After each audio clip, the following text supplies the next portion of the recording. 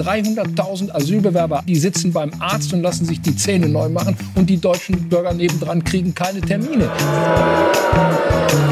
Voll, voll, die Presse, die Presse, die Presse. Presse. Sein Name ist Boyko Borisov, immerhin ein Verbündeter von Angela Merkel war lange Zeit. Und da werde ich jetzt ein weiteres Bild teilen, damit wir so ein bisschen darüber schmunzeln. Jetzt Angela Merkel mit nacktem Oberkörper beim Tennisspielen? Ja, die Hose bis das, zum Kinn. Das, das nicht. Das will wahrscheinlich erstmal auch keiner sehen.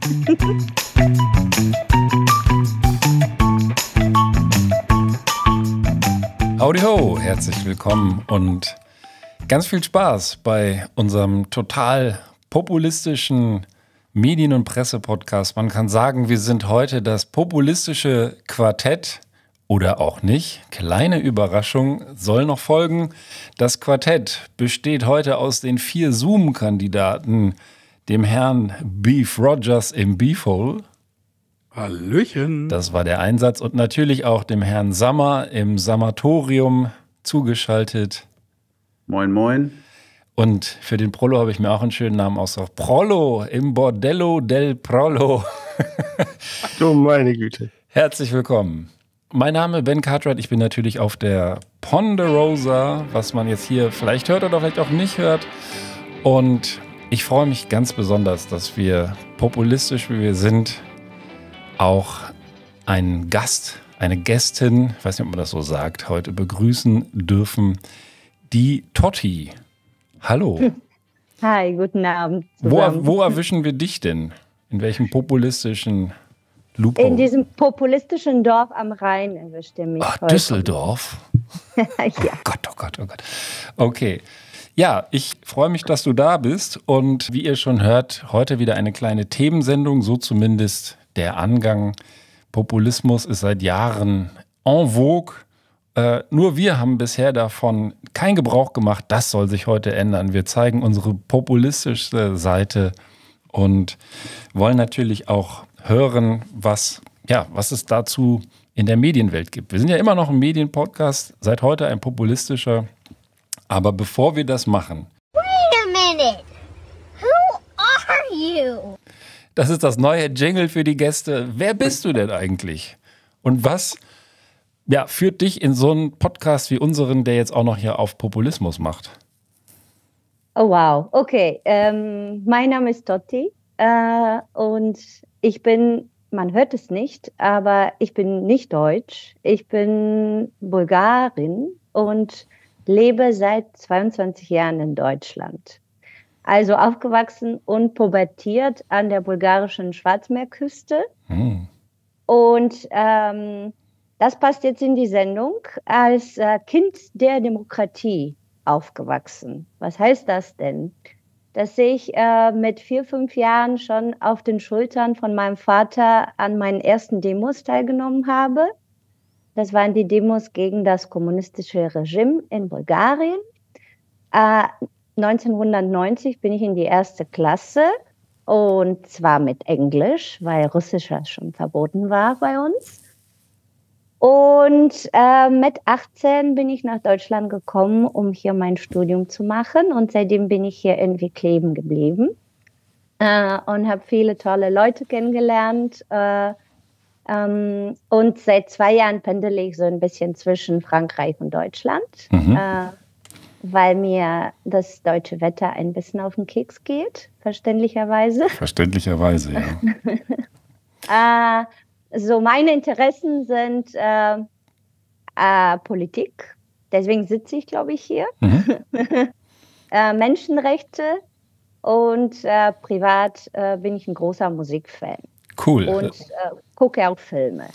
Das ist perfekt. Apropos Filme, lass mich ganz kurz meine Überraschung, die ich dir angekündigt habe, einspielen aus einem Film. Wenn jemand aus Bulgarien kommt, dann muss der einfach kommen. Du blödquatschender, arroganter, rotznäsiger, englischer, Riesenschweinepriester, Arschprolet, Pfeifenwichs, Sackgesicht, Arschloch! Oh, wirklich interessant. Sie kommen aus Bulgarien, richtig? Du bist aus Bulgarien, du Wichser! Also herzlich willkommen. Jetzt weißt du, wo du hier gelandet bist. Unsere Vulgarin vom Rhein. Hello, hello Wanda. Hello Wanda, genau. Ja. Also das, das ist auf jeden Fall etwas, was uns Bulgaren, Bulgarinnen auszeichnet, äh, unsere feuerige Mentalität. Mhm. das kann ich nachvollziehen. Ja, vielen Dank für die Einladung. Ich freue mich auf die Sendung mit euch.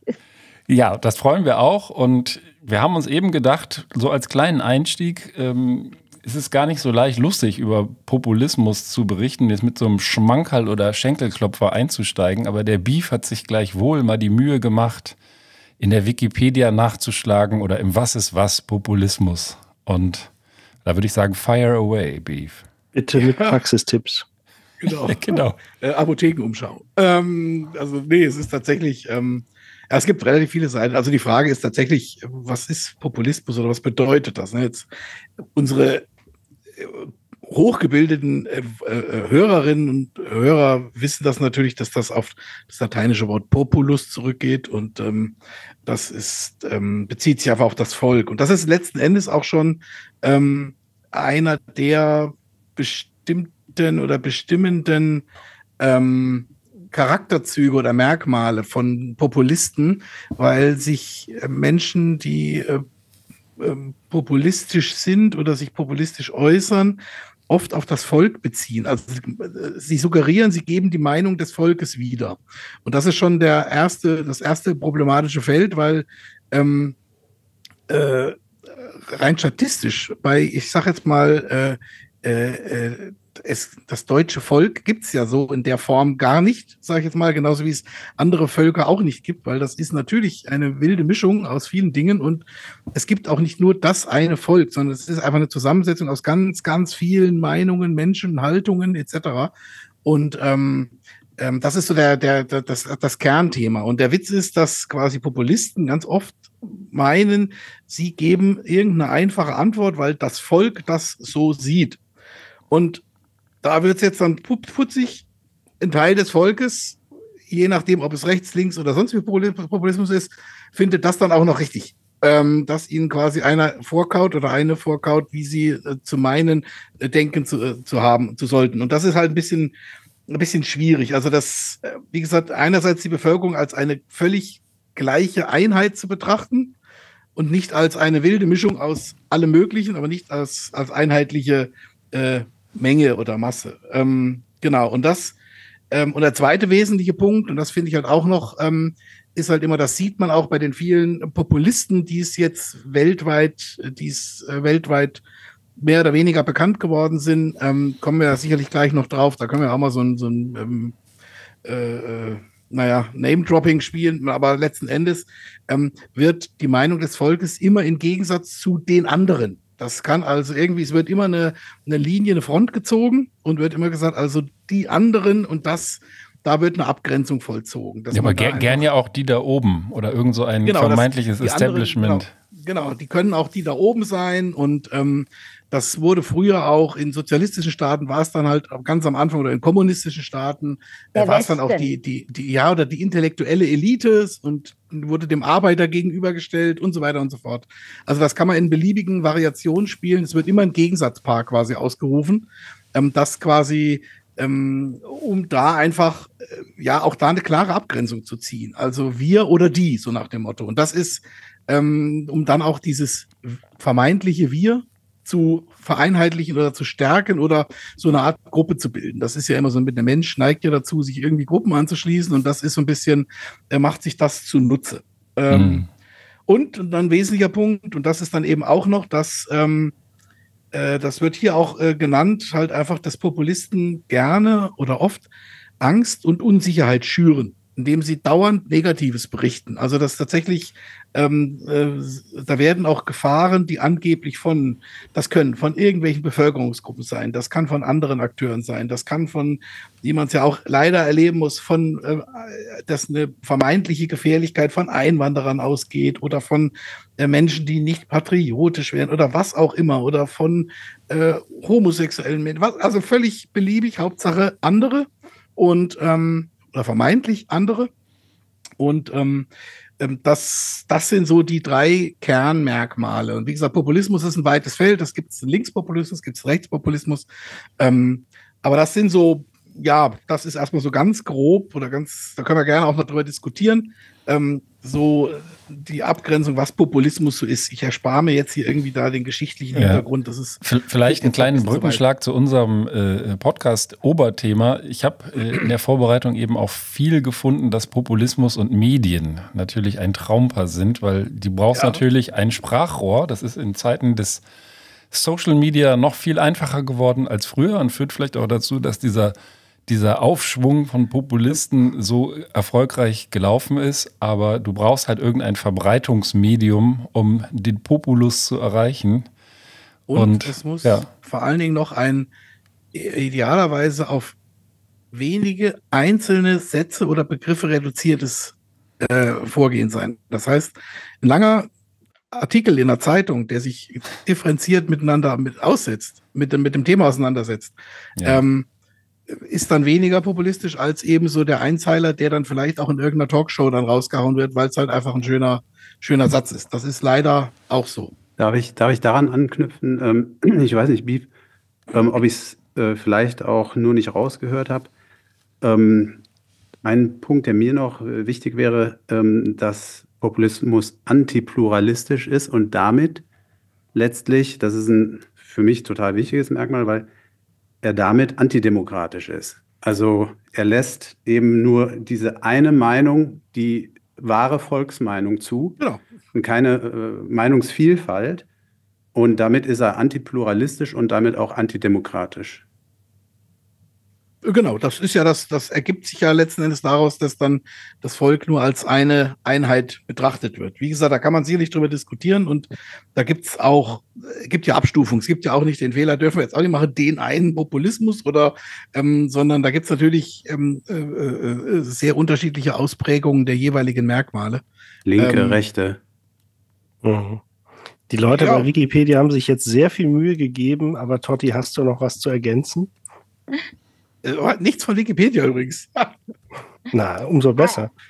Also ich finde, dass das ist so ein Schwarz-Weiß-Bild von Populismus. Eigentlich, was Populismus für mich so bezeichnet, sind ähm, Menschen, die sympathisch wirken und scheinbar einfache Lösungen anbieten. Und es ist in der heutigen Zeit sehr selten, dass Populistinnen eigentlich so ähm, faschistenmäßig unterwegs sind. Da sind eher so rechtsextreme Geschichten. Die Populisten, die ich so mitgebracht habe, äh, über die lacht man eigentlich sehr gerne, weil die witzig sind. So. Ähm, Also Ähm, vielleicht kann man auch sagen, das sind Leute des Volkes, so ein Stück weit auch. Die erreichen ja auch einen Richtig. nennenswerten Teil des Volkes. Vielleicht, vielleicht kann ich ja mein erstes mitgebrachtes Beispiel hier so erzählen. Und Ja. dann sehen wir, ob ihr äh, es erkennt, wer das ist eigentlich. Okay. Äh, ich ich habe ein Zitat mitgebracht von ihm. Es ist ein Er. Äh, ein, ein berühmter Populist der heutigen Zeit. Und der hat gesagt, nur Napoleon hat mehr geschafft als ich, aber ich bin definitiv größer.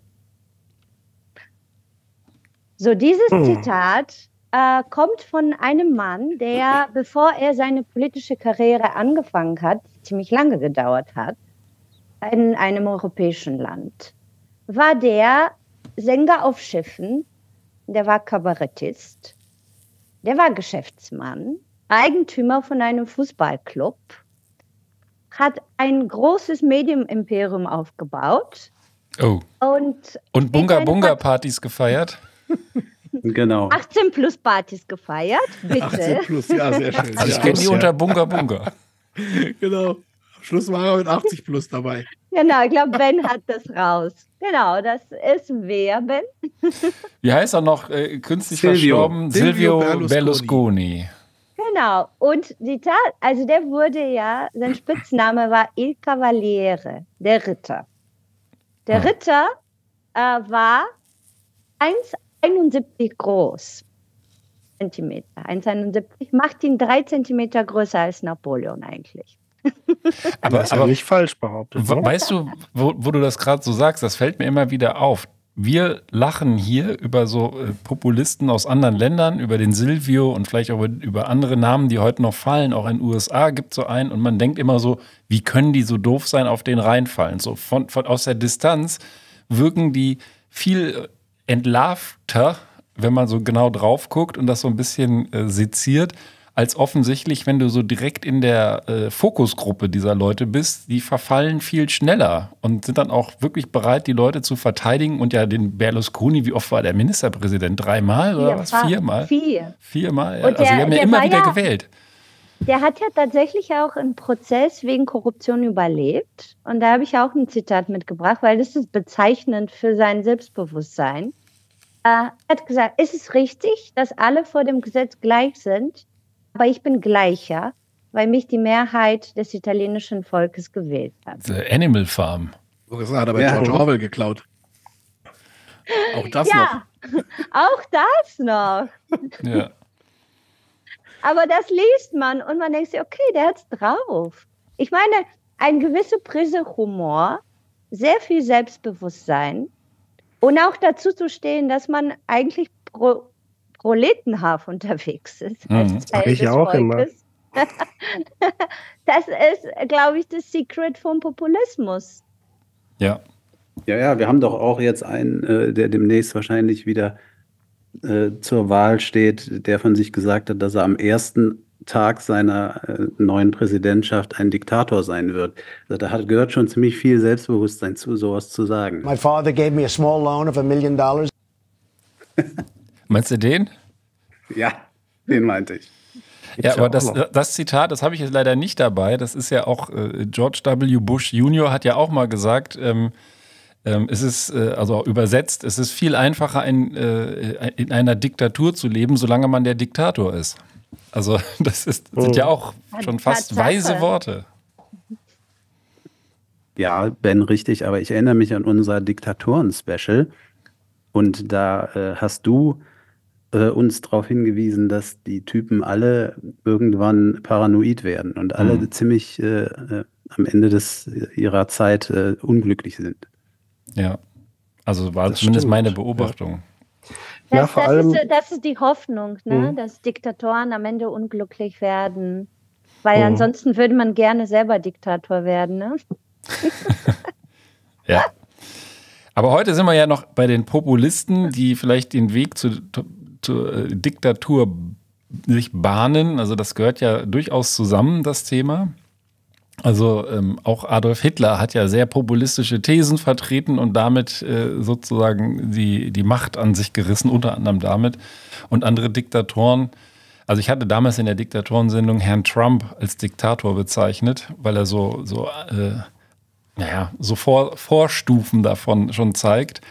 Und äh, der ist nun wirklich ein lupenreiner Populist. Also insofern, ja, sind wir schon ganz gut hier auf Betriebstemperatur gekommen. Ja, mhm. aber was ich nach wie vor erstaunlich finde, ich hatte das ja vorhin auch kurz angerissen und jetzt, Totti, wo du das auch sagtest, mit dem, mit dem ähm, äh, gut ankommen und dem, dem, der positiven Wahrnehmung und dem Charme oder was auch immer da noch so seine Rolle spielt bei dem, bei einem, in Anführungsstrichen, erfolgreichen, also ich wollte erst sagen, in Anführungsstrichen guten Populisten. Ich sag mal, einem erfolgreichen Populisten ist vielleicht die bessere Formulierung, weil das äh, spannende Frage, ob es gute Populisten auch gibt, aber ähm, oder ob Populismus bis zu einem gewissen Grade vielleicht auch für die Demokratie gut ist, das wäre ja auch mal zu diskutieren. Aber ähm, ähm, ich ähm, bin da so ein bisschen zwiegespalten, weil letzten Endes ähm, gerade jetzt, wo, wo der Ben auch das Thema Trump genannt hat, und ich meine, das ist ja auch ähm,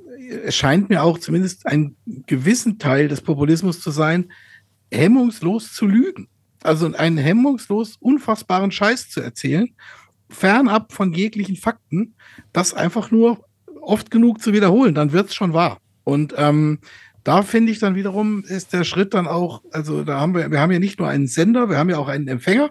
Und wenn dann irgendwie der ein oder andere oder die ein oder andere das völlig ausblendet, ähm, dann ist das schon so ein bisschen ähm, ja schwierig, wie man das dann so einstuft. Oder ob es dann auch, also ob ein guter Populist eben auch na scheiße, das habe ich wieder gesagt, ein erfolgreicher Populist, ähm, ob der vielleicht nur letzt, letzten Endes auch nur dann erfolgreich sein kann, wenn im Prinzip viele Leute schlicht und ergreifend nicht mehr zuhören oder nur noch unfassbar oberflächlich zuhören oder eher so, Ja, das also- sind wir bei der Religion, glauben wollen und nicht wissen wollen. Ich- Also ich würd glauben sagen, der- das ist ja eher das Konzept der Wahrheit insgesamt. Genau. Ja, indem du halt äh, gewisse Dinge grundsätzlich in Frage stellst, wird ja dann gar nicht mehr darüber diskutiert, äh, ja, wer hat jetzt recht, wer hat nicht recht und irgendwann ist es dann allen egal.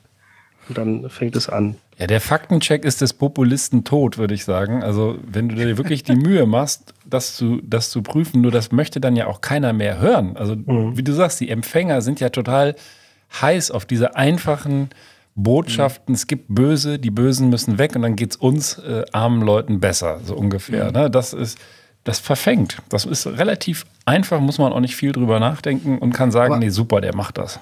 Aber ist nicht dann wirklich so, ich meine, wie gesagt, ich glaube ja an das Konzept Mensch, aber ähm, ähm, ist nicht trotz allem, also, wie man das Thema dann mal ein grundsätzliches Hinterfragen. Man muss ja nicht immer alles bis in die 134. Position hinterfragen, aber bei manchen Dingen, ganz ehrlich, da sagt selbst der gesunde Menschenverstand, da brauchst du gar nicht drüber nachzudenken. Das ist, das finde ich schon faszinierend. Oh, Also das- definiere gesunden Menschenverstand im 21. Jahrhundert. Also, Ja, eben, da wow. geht schon los. Und ich ähm, finde, vielleicht dazu direkt Beef. Ich Ja. finde, es ist, es ist einfach, stell dir vor, ähm, ich meine, die Menschen, die für diese populistische Botschaften empfänglich sind, äh, haben kein einfaches Leben in der Regel. Die haben so einfach viel um die Ohren. Die sind vielleicht nicht, die haben kein gutes Einkommen. Ähm, die haben viele Probleme, die sie lösen müssen. Und dann müssen sie sich noch um diese scheiß Politik kümmern. Also da, da kann man sagen, ja, pff, es gibt andere Leute, die besser einfache Antworten liefern können. Das Mhm. gefällt mir. Das macht mein Leben einfacher. Kann sein. Also ich würde das jetzt nicht so eins zu eins unterschreiben, weil jetzt gerade so bei dem aktuellen Populismus-Thema, jetzt äh, hier ähm, AfD und Co., ähm, also deren Klientel äh, setzt sich nicht im Wesentlichen nur aus oder zu, zum großen Teil nur aus, aus Menschen zusammen, die jetzt äh, geringe Einkommen haben oder so. Das ist gar nicht so der Fall. Also da habe ich jetzt relativ vor, vor kurzer Zeit entsprechende Statistiken zu gelesen. Ähm, das ist ein Artikel auch in der Zeitung. Aber ja, wie gesagt, also ich ähm, stelle Ich- es in den Raum. Ich habe ja keine Antwort. Ich, ähm, Ja, ich, ich denke ich denk auch, es, es, ist, es ist vielleicht zweierlei. Es ist vielleicht, was Totti gesagt hat. Es ist ja meistens äh, komplexer. Wir wollen ja auch jetzt nicht im Populismus verfallen und da eine einfache Erklärung geben. ähm, ähm, und es ist aber in der Tat auch, denke ich, so, ähm, dass nicht wenige Leute einfach, ähm, da haben wir schon oft hier drüber gesprochen, ähm, entsprechend das, äh, was zu ihrer Überzeugung passt, hören wollen. Und dann geht es nicht so sehr darum, ob das irgendeinem Menschenverstand entspricht. Äh, es entspricht vielleicht nur einer Emotion. Ähm, ähm, die, die, die Leute, zum Beispiel jetzt Beispiel AfD, äh, die blenden ja zum Beispiel auch aus, dass es ein Wahnsinnsrisiko ist, aus der EU auszutreten und trotzdem wollen sie es. Ja, warum wollen sie es? Meiner Meinung nach roter Faden, Nationalismus, äh, Ausländer raus. Punkt. So. Hm. Und das hat, das hat nicht unbedingt äh, etwas mit wenig Einkommen und ich bin ungebildet zu tun, sondern das hat äh, eben was mit einer Überzeugung zu tun. Ne? Und äh, wir haben wir hier auch schon oft gesagt, dass die Leute sich ja auch äh, dahin begeben, wo sie mit dem bedient werden, was sie hören wollen. Ja. Also da würde ich ganz kurz, dann halte ich mich auch mal zurück, weil ich rede viel zu viel schon. Aber ähm, Bist halt ein Populist. Ja. Da würde ich jetzt eher so auch eher beipflichten, also gerade zum Thema, was, was das Thema EU angeht, ähm, eben was Totti sagte. Also ich glaube, da ist es tatsächlich, das Thema ist mit EU und einem Wirtschaftsaustritt und was das letzten Endes bedeutet, ist ein unfassbar komplexes Thema.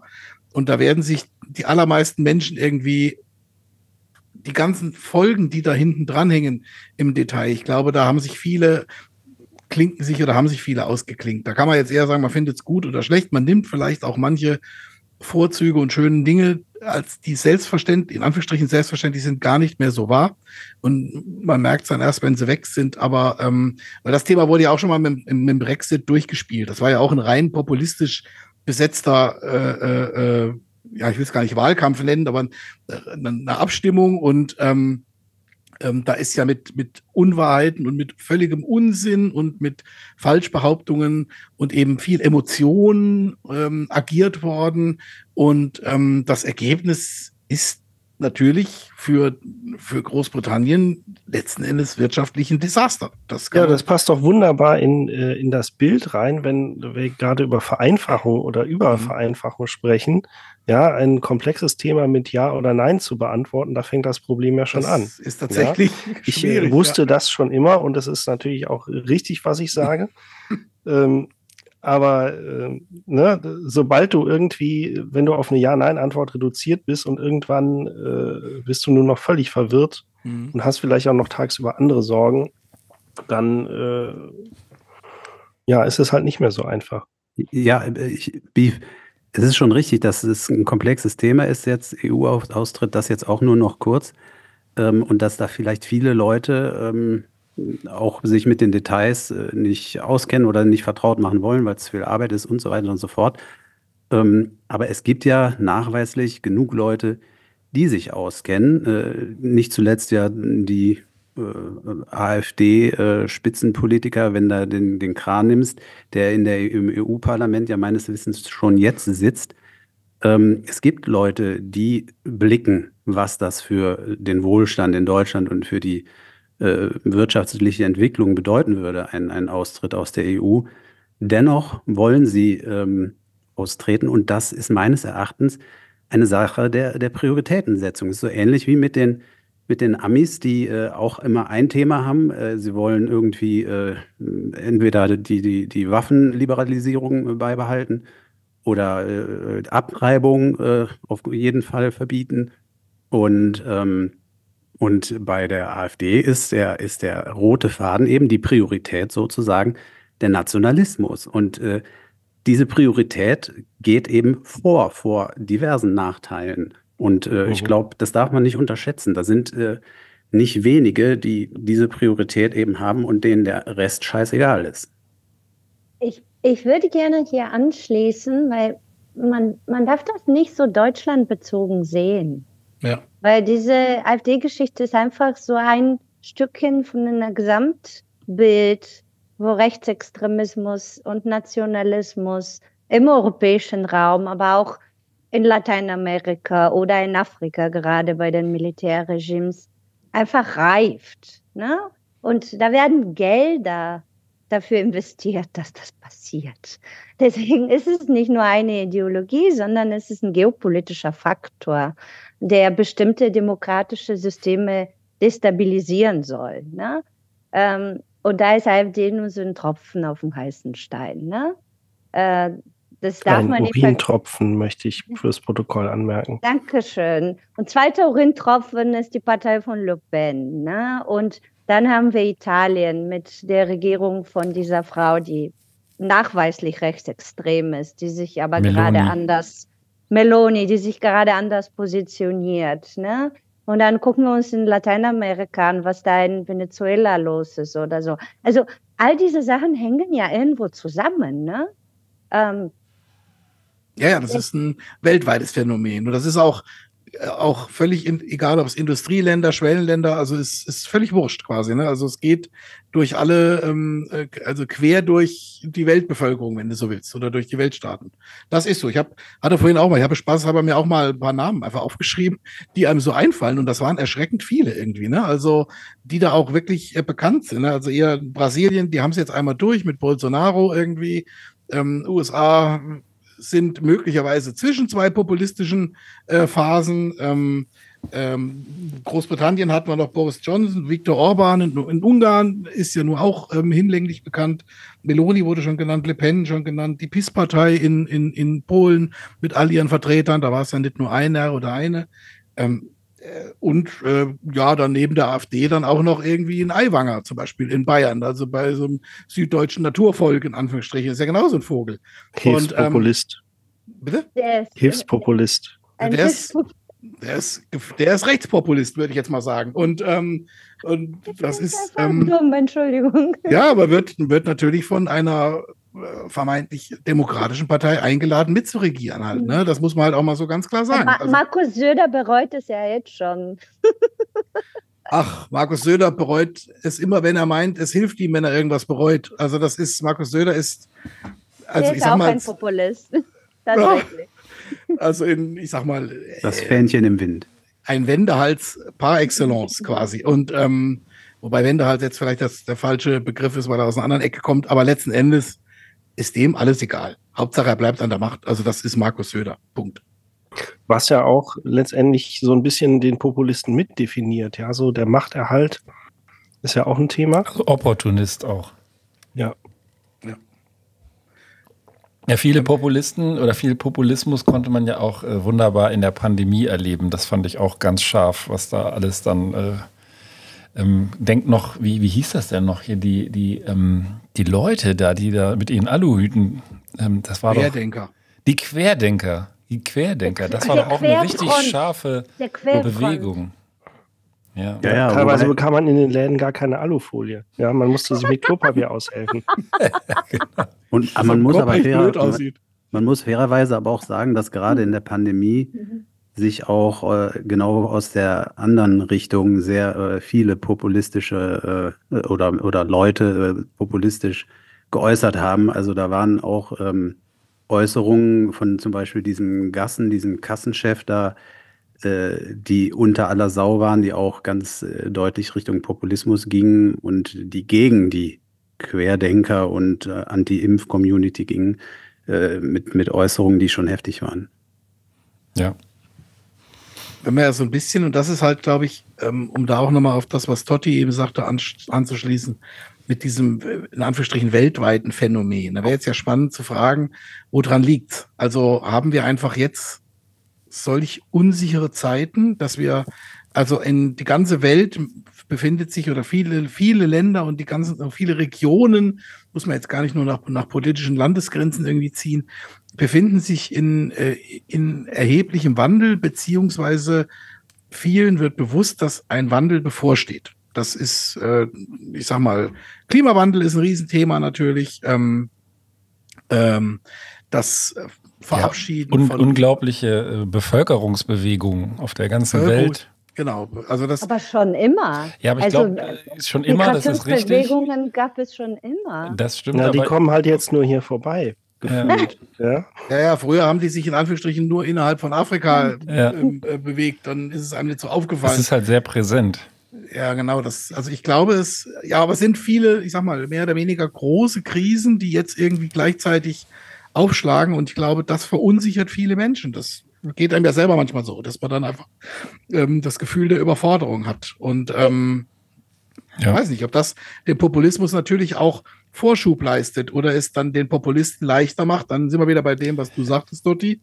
Einfache Antworten. Genau, einfache Antwort und ver- vermeintlich einfache Lösung. Knackige Genau. Botschaften, das ist doch genau das, was du auch gesagt hast eben. Also Ja. die bieten einen scheinbaren Ausweg. aus Also ich sehe das so ein bisschen durch die Brille, meine bulgarische Brille jetzt. Und ähm, ich, ich würde das eher so ein bisschen in der Sozialpsychologie sehen. Und viel, viel mehr als diese Verunsicherung ist das, was diese Länder, wo Populismus so äh, wirklich seit Jahrzehnten unterwegs ist, und das ist jetzt Osteuropa zum Beispiel, ganz krass und auch Lateinamerika, äh, dass das ähm, Länder sind, die vor 50 Jahren kommunistische oder Militärregime hatten, also im Prinzip diktatorische Regime. Das heißt, dass ein Staat entschieden hat über die Bevölkerung. Ne? In, egal jetzt ob Militärregime oder kommunistisches Regime, ist ja beides diktatorisch. Geht ne? ja auch Nur- gerne Hand in Hand. ja, genau. Das heißt, diese, diese Generation, die da das erlebt hat, äh, hat das ja weitergegeben an die nächste. Es ist ja eine Erziehungssache. Ne? Diese, äh, man spricht ja in der Politikwissenschaft von mündigen Bürgerinnen. Ja? Äh, das heißt, Leute, die im Prinzip hinterfragen, äh, die Sachen nicht direkt für wahr halten, sondern äh, auch mal in Zweifel ziehen und so Hm. weiter diese Generation, die da unter so einer ein Regime aufgewachsen ist, hat diese Fähigkeit gar nicht gelernt, weil man sollte ja nicht hinterfragen. Man sollte ja genauso leben. Ne? Und das zieht sich ja durch die Generationen, auch zukünftigen Generationen. Es ist ja im Prinzip, wenn du so willst, ein ähm, intergenerationales Trauma, was man ja mit, mitgibt an die nächste Generation. Ne? Und es dauert ja, die Politikwissenschaft spricht ja von irgendwie 50 Jahren oder mehr, wo im Prinzip dieses Denken anfängt, sich zu ändern. Ne? Und wo es einfach auch eine Veränderung des Bewusstseins erreicht wird, wo Menschen auch die Möglichkeit haben, in, in anderen Ländern zu leben, das zu erfahren, dass es halt andere Realitäten gibt. Ähm, aber dann stelle ich mal eine Frage jetzt dazu. Also ich bin auf dem ähm, äh, äh, bei Sozialpsychologie bin ich tatsächlich jetzt nicht so bewandert, also aber ähm, das betrifft ja was du jetzt beschrieben hast, mag jetzt für einige der ehemaligen osteuropäischen Länder äh, zutreffen, aber es betrifft ja zum Beispiel nicht Frankreich oder Großbritannien oder ähm, Saarland. Also keine Ahnung, also überall da, wo ähm, jetzt Populisten ähm, äh, auch konsensfähig sind. Also deswegen ist für mich die spannende Frage, also ist das auch nur ein möglicher Weg oder äh, also wie gesagt, da sind wir wieder bei dem Thema. Wahrscheinlich gibt es da keine einfache Antwort, aber ähm, also gerade Frankreich oder sowas, da gibt es ja dieses äh, Rechtsnationale schon relativ lang. Also Le Pen, und das ist ja, ihr Vater war ja nun auch schon unterwegs zu dem Thema und die sind ja, ähm, die, die, die ähm, sind ja schon so bestimmt seit 30 Jahren da mehr oder weniger, ähm, äh, zumindest mal in einem Bereich zwischen 10 und 20 Prozent. Ähm, und jetzt noch mehr, aber in Frankreich gab es das ja so nicht. Also, ähm, aber der Unterschied ist, dass die nie Regierungspartei gewesen sind. Noch also nicht, ich nee. meine, das, das sind, also wenn du, wenn du darüber nachdenkst, das sind alles Länder, wo eben populistische Parteien ja Mhm. da sind, als Teil der Parteilandschaft, aber niemals bisher eine Regierung gebildet haben. Ja, aber in den USA haben wir doch den Trump an der Macht gehabt. Ja, aber USA ist jetzt äh, eine Ausnahme von allen Systemen, glaube ich. Ja, Du, ich, ich glaube, ich glaub, du kannst den Populismus, aber tatsächlich, man kann das, man kann das, glaube ich, nicht so ein, eingrenzen oder, oder, oder nur aus, aus dieser, die, dieser An Erklärungsansatz von dir, Totti, der ist äh, mir eingängig, der klingt da äh, durchaus plausibel. Ähm, aber ich glaube, es äh, gibt diese Probleme auch tatsächlich, wie der Beef sagt, auch in Staaten, wo, wo der Ansatz dort jedenfalls nicht greift. Das heißt nicht, dass er nicht in Osteuropa zum Beispiel richtig ist.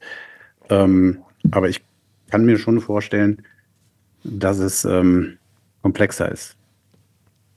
Hat eigentlich irgendjemand was aus den Medien mitgebracht oder sind wir kein Ja, Medienpodcast? ich Ich habe habe ein was. bisschen was ich auch hab was über die mitgebracht. Medien mitgebracht, aber der Ben möchte auch ganz Ja, ich, dringend. ich, ähm, ich dachte, vielleicht machen wir eine kleine Zäsur. Wir haben jetzt so äh, einen guten Einstieg und auch schon viel ähm, besprochen. Der Beef zeigt aufs Bier. Ähm, ich muss gestehen, ich bleibe heute bei Hals. Ja, die Uhr. Ich bleibe bei hier Hals, äh, Hals- und Ohrentee, hätte ich fast gesagt. Hals- und Hustentee. Ähm, aber ich habe natürlich auch mir gedacht, wenn wir hier über Populisten reden und auf andere Populisten zeigen, dann testen wir uns doch mal selber, wie populistisch sind wir denn vielleicht einfach. Und da teile ich mal ganz kurz für die hier im Zoom den, den Screen.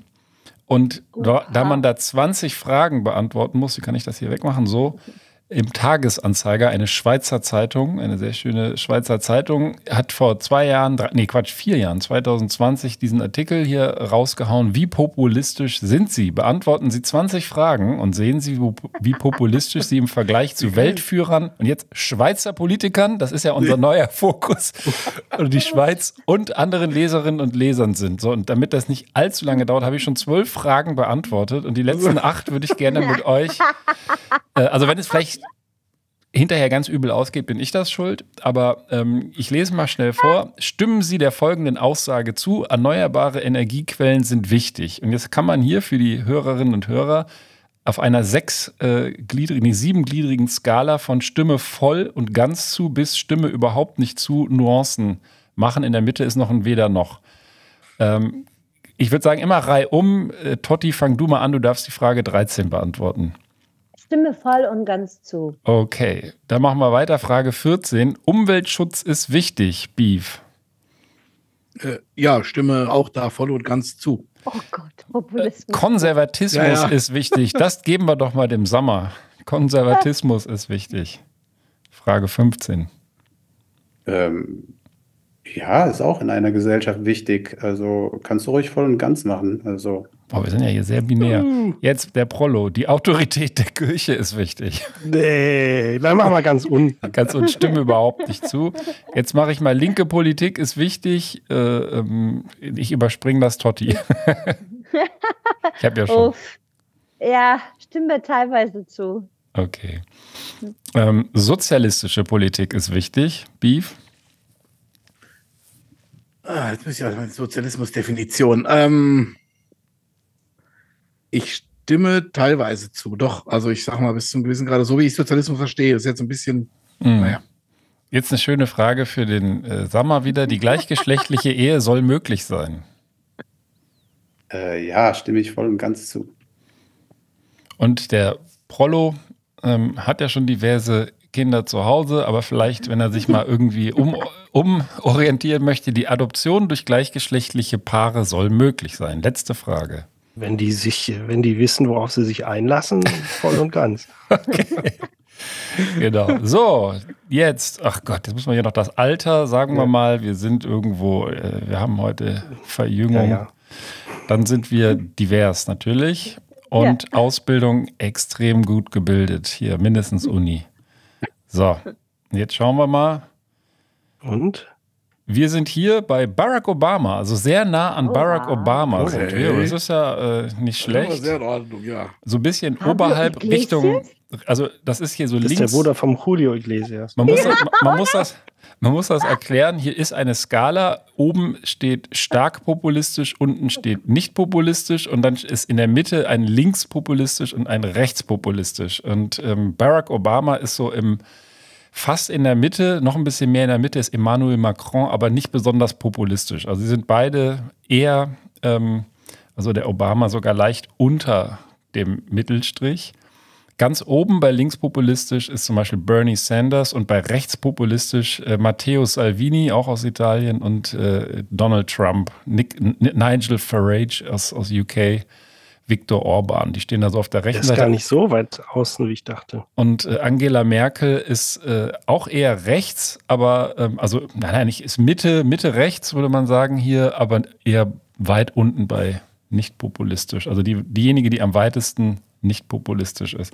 Wir schicken das, ich mache mal hier einen Screenshot später von und wir schicken das äh, vielleicht in die Show Notes, aber das war sehr schön, dass ihr das mit mir gemacht habt. Also wir können eigentlich hier völlig neutral sprechen. Wir sind eher ein Hauch links, aber ziemlich, ziemlich genau auf der Mitte zwischen stark populistisch und wenig populistisch. Ich finde die Grafik faszinierend, äh, weil irgendjemand muss ja zu dem Ergebnis gekommen sein, dass Emmanuel Macron ein bisschen weniger links ist als Barack Obama und zugleich auch ein klein wenig nur weniger populistisch. ja. Ja, ist wahrscheinlich wieder so eine aggregierte Studie.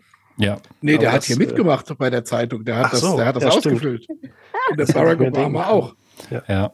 Also hier steht noch ein Fazit. Sie sind in ihren politischen Ansichten Barack Obama am ähnlichsten, am weitesten entfernt von Donald Trump, im politischen Spektrum eher links positioniert, für populistische Ideen zum Teil empfänglich. Das können wir doch, das können wir, das schicke ich nachher in Twitter. Hier Mal, kann geh man mal das runter, geh mal Ergebnis, runter. Hier die anderen Leser vom Tagesdingszeiger. Naja, gut. ja. Hallo. Wir befinden uns tatsächlich in einer Wolke. In der Blase, in der Blase von der herum, Zeitung. Ja. Genau. Aber was mich wundert bei dieser Grafik, kannst du mal bitte hoch? Hm. Da fehlt ja einer der berühmtesten Populistinnen heutzutage, nämlich Putin. Wo ist denn der? Ist der außerhalb von der Grafik? ja, der ist schon ein Diktator wahrscheinlich, aber ähm, ich weiß Der, nicht. der muss nicht mehr populistisch Der, sein. der hat das Der Der der hat einfach- das Upgrade bekommen. Ja, gesprengt, genau. Also die- es ist halt von 2020, das muss man dazu sagen, aber da äh, mit Da Sicherheit. gab's ja, ähm, aber da gab es Putin ja auch schon. Nee, nee, Also, ich wollte gerade sagen, ähm, aber da war er, glaube ich, auch schon nicht dafür bekannt, dass er wahnsinnig populistisch unbedingt sein musste, sondern er, hat einfach, er ist einfach ein ja. krasser Machtmensch und äh, sichert das ja mit anderen Mitteln. Er ist ein Diktator, also wie gesagt, und Co. Ja. Der, der, der ist schon ein, genau, der ist schon einen Schritt weiter, der ja, ist Diktator. Diktator muss nicht populistisch sein. Also ich meine, was ja hier so ein bisschen, ich, ja, Roger, Roger, Roger oder Roger Köppel ist, kennt, kennt ihn jemand? Ja, das ist wahrscheinlich das irgendein Schweizer Populist, Schweizer, weil der muss ja auch ja. da rein. Genauso wie Karin Keller-Sutter vermutlich auch aus der Schweiz ist. Und die Viola am Herd. Viola am Herd. Am Herd. oh, je, je. Aber ähm, ja, Nigel Farage, von dem hat man auch, der hat sich auch ganz entspannt verpisst, ne? Oder ja. macht er noch was außer, außer seinerzeit den Brexit? Er hat das Downgrade bekommen. Das war ja sein größtes Challenge. Ist okay. Ja. Hat alles geschafft. Ja. Also ich denke, das Ergebnis für uns kann sich sehen lassen. Mit, mit Barack Obama kann ich persönlich mich gut identifizieren. Absolut. Und, Witzigerweise, ähm, ja. ähm, ich habe den Artikel jetzt nicht, ich kann den aber mal rausschicken, ähm, wird ja gemutmaßt, dass Donald Trump nicht zuletzt deswegen auch sich überlegt hat, in die Politik zu gehen, weil er mal in, bei einer öffentlichen Veranstaltung ähm, in 2011, meine ich, von Barack Obama einfach vor versammeltem Publikum hoch und runter gesaut wurde. Also sprich, ähm, der hat ihn dermaßen auf, auf die Hörner genommen, ähm, ähm, mit, mit, mit Worten natürlich nur. Ähm, und er und hat ihn als, äh, ja, also in verschiedensten Formen elegant formuliert, als Steppen dahingestellt, etc. Und ähm, ähm, da wurde jetzt irgendwie kolportiert, dass das quasi für, für Trump gegebenenfalls der Anstoß gewesen wäre, in die Politik zu gehen und dass er eben auch eine ähm, äh, seinerzeit die Hillary Clinton und wen auch immer, dass er die Leute alle blöd findet und dies und jenes, aber dass er Barack Obama aus tiefstem Herzen hasst. Das ist wohl einer seiner Antriebe, dass er einfach Obama wirklich abgrundtief hasst und alle anderen nur unfassbar scheiße findet. Und ähm, dass das irgendwie so ein bisschen der äh, negative Impuls ist, um. Äh, dann um ist, ist das ja. Dann ist das ja schon wahr, dass Obama schuld da dran ist an allem. Ich weiß, was wahr ist. Ich habe das auch das ist an vielem schuld, ja. Das ist. Äh also ich glaube, dass er, dass er zumindest, ähm, also das kann, das nehme ich dir durchaus ab, Beef, das passt. Ähm, aber ich glaube, er hat gleichwohl ziemlich einen Respekt vor ihm, äh, weil in der Diskussion in der Diskussion um die betrogene Wahl, die er ja immer äh, führt, ähm, hat er immer wieder darauf hingewiesen, dass äh, Biden ja irgendwie äh, noch mehr Stimmen hätte, sogar als Obama. Ne? Und also hat quasi als Obama so selbst so ein bisschen als das Nonplusultra dargestellt und gesagt, das kann gar nicht stimmen, dass der Biden so viele Stimmen hat, äh, sogar mehr als dieser Obama. Hm. Keine Ahnung. Oder er wollte damit natürlich Obama bashen, dass er sagt, hier komm, Obama, du bist gar nicht so ein Held. Also ich weiß es nicht. Also ich ähm, kann ich stelle den Artikel natürlich allen zur Verfügung, aber ähm, fand ich ganz spannend. Und mein Obama spielt allein, ähm, was das Intellektuelle angeht, keine Ahnung, acht Ligen über Trump. Also das ist halt so. Und ähm, ich glaube, das hat ihn damals, also so wurde das halt da beschrieben, hätte ihn einfach massiv geärgert, vor allen Dingen, weil er auch vor vielen anderen einfach bloßgestellt wurde von Obama. Ja, das ist dann natürlich für so einen Typen, glaube ich, das, das, Schlimmste. Genau, das ist. Der ist ja, ähm, ich habe den Begriff vergessen, aber ähm, ja. Narzisst. Narzisst, herzlichen Dank. Egomane. Ja. Egomane wahrscheinlich auch. Egomane und Narzisst, das ist eine fiese Kombination. Der Herr Ferrari ist heute so still. Hat der was ich? mitgebracht? Ich habe was mitgebracht. Ich würde, wir haben ja jetzt äh, vorhin fiel schon mal der Begriff Twitter und überhaupt das Internet. Und äh, ich habe mal eine kleine Einordnung tatsächlich dabei. Ähm, eine kleine Studie, die ist von 21, aber ich denke weiterhin aktuell zur Frage, ähm, welche Medien eigentlich verschiedene Parlamentarier aus diversen EU-Ländern und der Schweiz ähm, teilen auf Twitter. Also die Frage ist ja immer, ne, der, äh, also schickt der Rechte nur irgendwelche rechten Käseblätter ins Rennen und äh, stachelt da die Leute auf? Oder wie ist denn das eigentlich mit den Medien, die da so geteilt werden? Und die Analyse ist ganz interessant, nämlich es ist tatsächlich nicht so, dass äh, rechtspopulistische Politiker sozusagen nur ihre eigenen äh, einseitigen Medien verlinken, sondern es ist tatsächlich so, äh, also ausgewertet wurden immerhin 4,3 Millionen Tweets übrigens von über 2000 Parlamentariern aus 141 Parteien.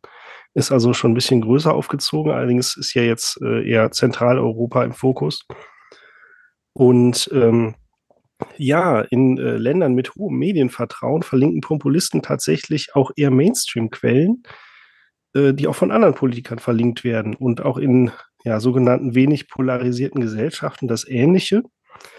Äh, während hingegen, äh, oder weil sich halt in diesen Ländern die Mobilisierung äh, gesellschaftlicher Ränder äh, für sie weniger auszahlt und in weniger oder in Ländern, wo die rechtspopulistische Partei weniger integriert ist, also Deutschland oder Niederlande werden hier genannt, zeigt sich eine Verlinkungspraxis, die sich von der anderer Politiker ähm, unterscheidet. Also da werden dann, hat dann sozusagen die AfD ihr eigenes Link-Repertoire.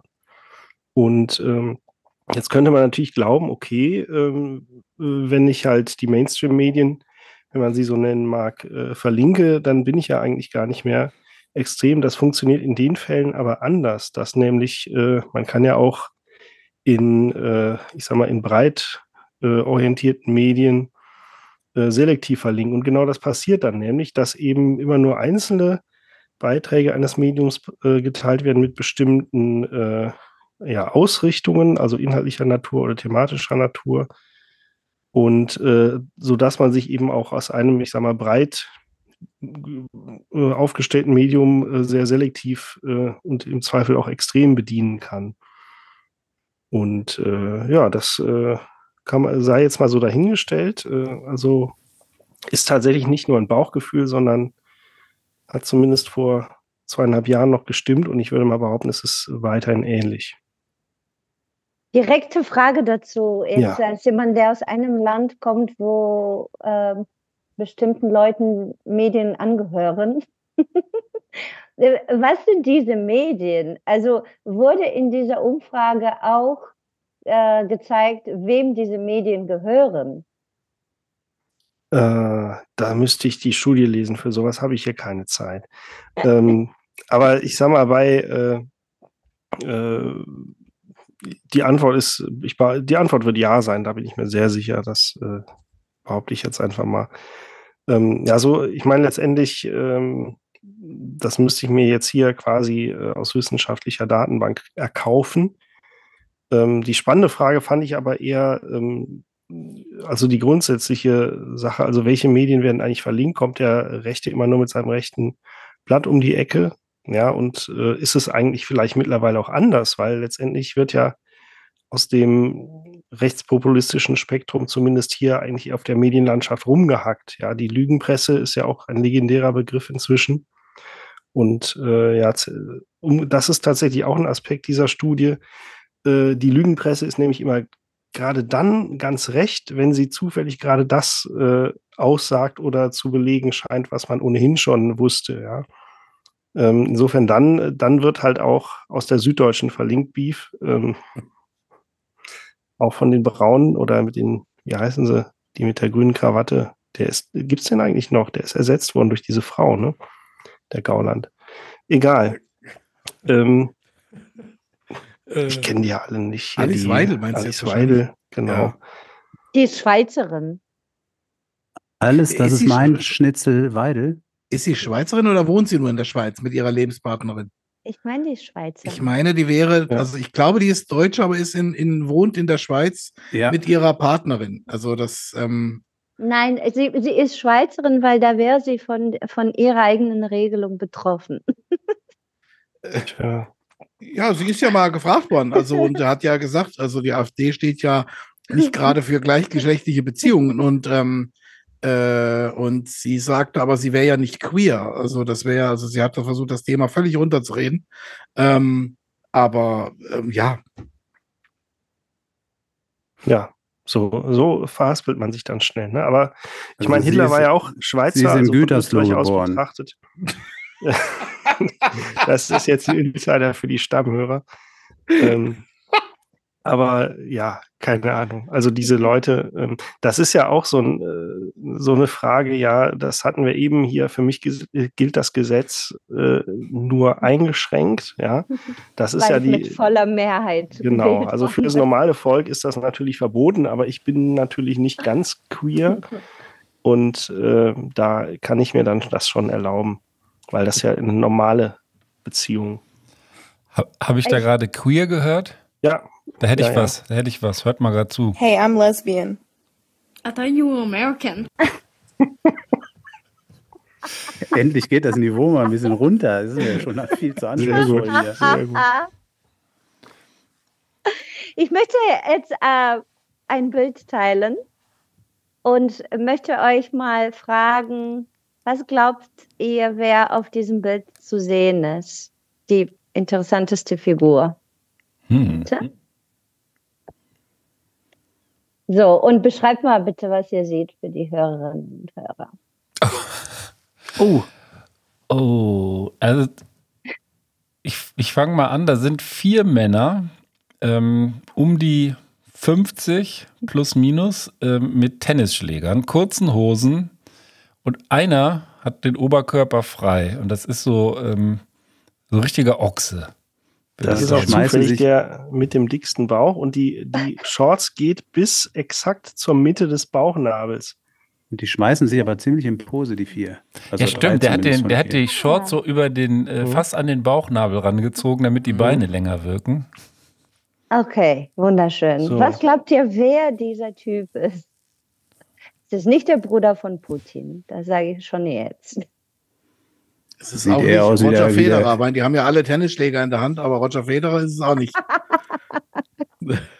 Ist das ein Also bulgarischer, äh, ein bulgarischer Politiker? Mhm, Tatsächlich. Tatsächlich ist das äh, ein dreifacher Ministerpräsident Bulgariens, Mhm. äh, der über neun Jahre dieses Land auch mit seiner Partei regiert hat. Sein Name ist Boyko Borisov. Äh, den habe ich jetzt als, als zweiten prominenten äh, Populisten mitgebracht, äh, der jetzt in, in unserer Runde ja wenig bekannt ist, aber immerhin ein Verbündeter von Angela Merkel war lange Zeit. Und da werde ich jetzt ein weiteres Bild teilen, damit wir so ein bisschen darüber schmunzeln. Jetzt Angela. Merkel mit nacktem Oberkörper beim Tennisspielen. Ja, die Hose bis Das- zum Kinn. Das, das nicht. Das will wahrscheinlich erstmal auch keiner sehen. Deswegen machen wir keinen Aber- Videopodcast. Das sind die beiden auf einem EU-Treffen in Brüssel während der Pandemie. Ähm, beschreibt mal, was ihr seht auf dem Bild. Ja, jetzt hängt's zu tief. Jetzt hängt nämlich der Rüssel raus. ähm, also bei dem, nee, also anders gesagt, äh, der Herr trägt äh, Maske, aber die Maske hängt zu tief unter der Nase.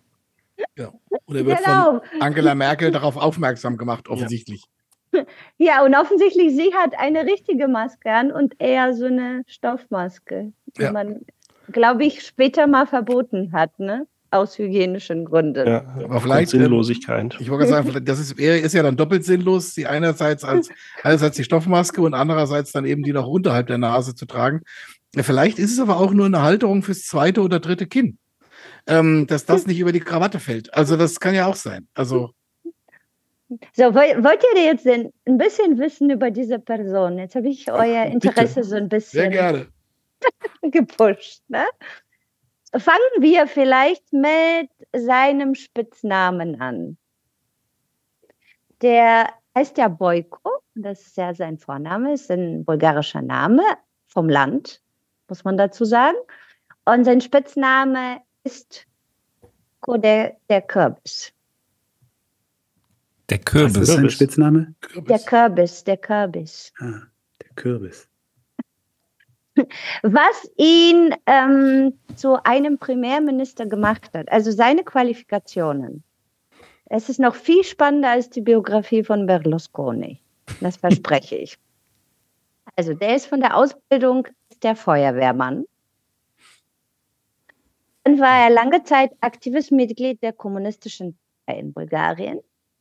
Und Bataillonskommandeur zur Bewachung landwirtschaftlicher Flächen. Hm. Dazu war er. Ganz kurz, was, was ist er? Security. Für landwirtschaftliche Flächen. Ja, für hat Ja, des- bewacht. Während Acker des Security. kommunistischen Regimes ist Acker Security. Okay. Ja, weil sonst hätte man das geklaut, nämlich die Ernte. Die muss ja fair verteilt werden unter allen Okay. oder eben nicht. Ne? Genau. Dann äh, war er mal sportlich, das sieht man jetzt auf den Fotos nicht, aber der hat tatsächlich einen siebten Dan in Karate und einen schwarzen Gürtel. Fußballspieler. Und nach der Wende hat er als Security für berühmte Politikerinnen gearbeitet. Das war Bio seine Biografie. Und seit 2001 hat er eine steile politische Karriere begonnen. Dann war er in verschiedenen Ämtern, unter anderem Bürgermeister der Hauptstadt Bulgariens Sofia. Und äh, 2009 wurde er als Premierminister gewählt. Und in diesem Amt hat er sich äh, neun Jahre gehalten. Das muss man mit den Oh. Qualifikationen erstmal schaffen. So, und ich habe ein, ein Zitat von ihm mitgebracht. Darüber lache ich mich, also darüber schmunzeln wir Bulgaren sehr viel. Also eigentlich zwei. Also ein Zitat mit bulgarischem Tiefsinn. Das ist, er sagt, über ein kleines Schwein und einen neuen Chef freue ich mich nie. Über, über ein kleines Schwein und einen neuen Chef freue ich mich nie. Ja. Weil äh, die Bulgaren dann auf dem Land äh, essen viel, viel Schweinefleisch. Ne? Ach so, wenn das Schwein zu klein ist, dann ist nicht gut. Ne, ist nicht gut. Genauso wenig wie ein neuer Chef. Genau. Und das, das zweite Zitat ist, er hat mal gesagt, Worte fliegen weg, das Baute bleibt. Und dazu habe ich mal sein Prestigeprojekt mitgebracht, sein Prestigebauprojekt. Also jetzt muss ich mal Hintergrund erzählen. Bulgarien hat ähm, äh, zwei Autobahnen. Ne, das ist jetzt im Vergleich zu Deutschland ist es gar nicht vorstellbar. Ne? Es gibt eine Autobahn, die die Hauptstadt mit dem Schwarzen Meer verbindet, weil da sehr viele Leute aus der Hauptstadt einfach Urlaub machen am Schwarzen Meer und da müssen die ja hinkommen irgendwie. Ne? Und diese Autobahn, äh, es sind 360 Kilometer. Der Baubeginn ist 1975 lange Zeit bevor Boyko Borissow überhaupt irgendwie seine Parteikarriere angefangen hat. Und diese Autobahn wurde äh, zu Ende gebaut in 40 Jahren. Und das größte Prestigebauprojekt von diesem Mann waren die letzten 35 Kilometer dieser Autobahn, äh, das zu Ende zu bringen. Re Resultat ist, die Autobahn wird nur immer im Sommer benutzt. Das ist die sogenannte Sommerautobahn Bulgariens, weil im Winter da einfach Schnee liegt. Und die, und die andere Zeit wird die boykottiert. Oh. Sehr gut. Ja. Äh, so viel zu Boyko und äh, Boyko boykottieren. genau. Hast du eigentlich noch ähm, Wahlrecht dann auch, wenn in Bulgarien gewählt wird? Also kannst du äh, in Düsseldorf irgendwo zum Konsulat gehen und mitwählen? Also ich müsste mich entscheiden, ob ich in Deutschland oder in Bulgarien wähle. Also beides geht nicht. Mhm. Und dadurch, dass ich seit 22 Jahren hier lebe, habe ich mich für mein deutsches Wahlrecht entschieden. Ah ja, okay. Hier gibt es auch genug zu tun. Ja, finde ich auch. Ja, ja Und spannend. es gibt mehr Autobahnen, wobei wir, glaube ich, auch so eine Urlaubsautobahn nach Italien, sagen wir mal, achtspurig gut gebrauchen könnten. Die müsste allerdings durch Bayern führen. Und da muss ich mit dem Aiwanger reden. Aber du könntest den Boyko fragen, der hat das ja, Ja. der hat das ja gebaut. Okay, also von, von Duisburg bis. Düsseldorf ist kein Problem. Und danach müssen wir mal gucken. Ich, ich würde mal gerne so ein bisschen, weil wir das Thema Autobahn hatten und weil du auch gesagt hast, du hast Affinität zu äh, Frankreich. Es war, glaube ich, Südfrankreich, aber gleichwohl vielleicht einfach mal so nochmal den, den Brückenschlag in die Medien. Da habe ich heute Morgen was äh, gefunden, beziehungsweise äh, Meine Frau hat es gefunden und mir geschickt. Und zwar in Paris gibt es eine Bürgermeisterin Hidalgo und die hat, ähm, und das frage ich euch jetzt, ob das sozusagen populistisch ist oder ob das einfach äh, clever ist. Die hat jetzt ähm, gesagt, sie sagt den SUVs den Kampf an. Und jetzt überlegt mal, wie sie das macht. Also die dürfen nach wie vor nach Paris reinfahren, aber wie will sie ihnen den Kampf ansagen? Und das Dummerweise, Ben, kam das heute über durch alle Nachrichten. Insofern ja. oh. wir alle Bescheid. Tatsächlich so ein Artikel, den, glaube ich, heute alle gelesen haben. Und ja. ich habe mich bereits auch schon drüber aufgeregt, weil ich dachte mir, ja, die scheiß SUV-Fahrer.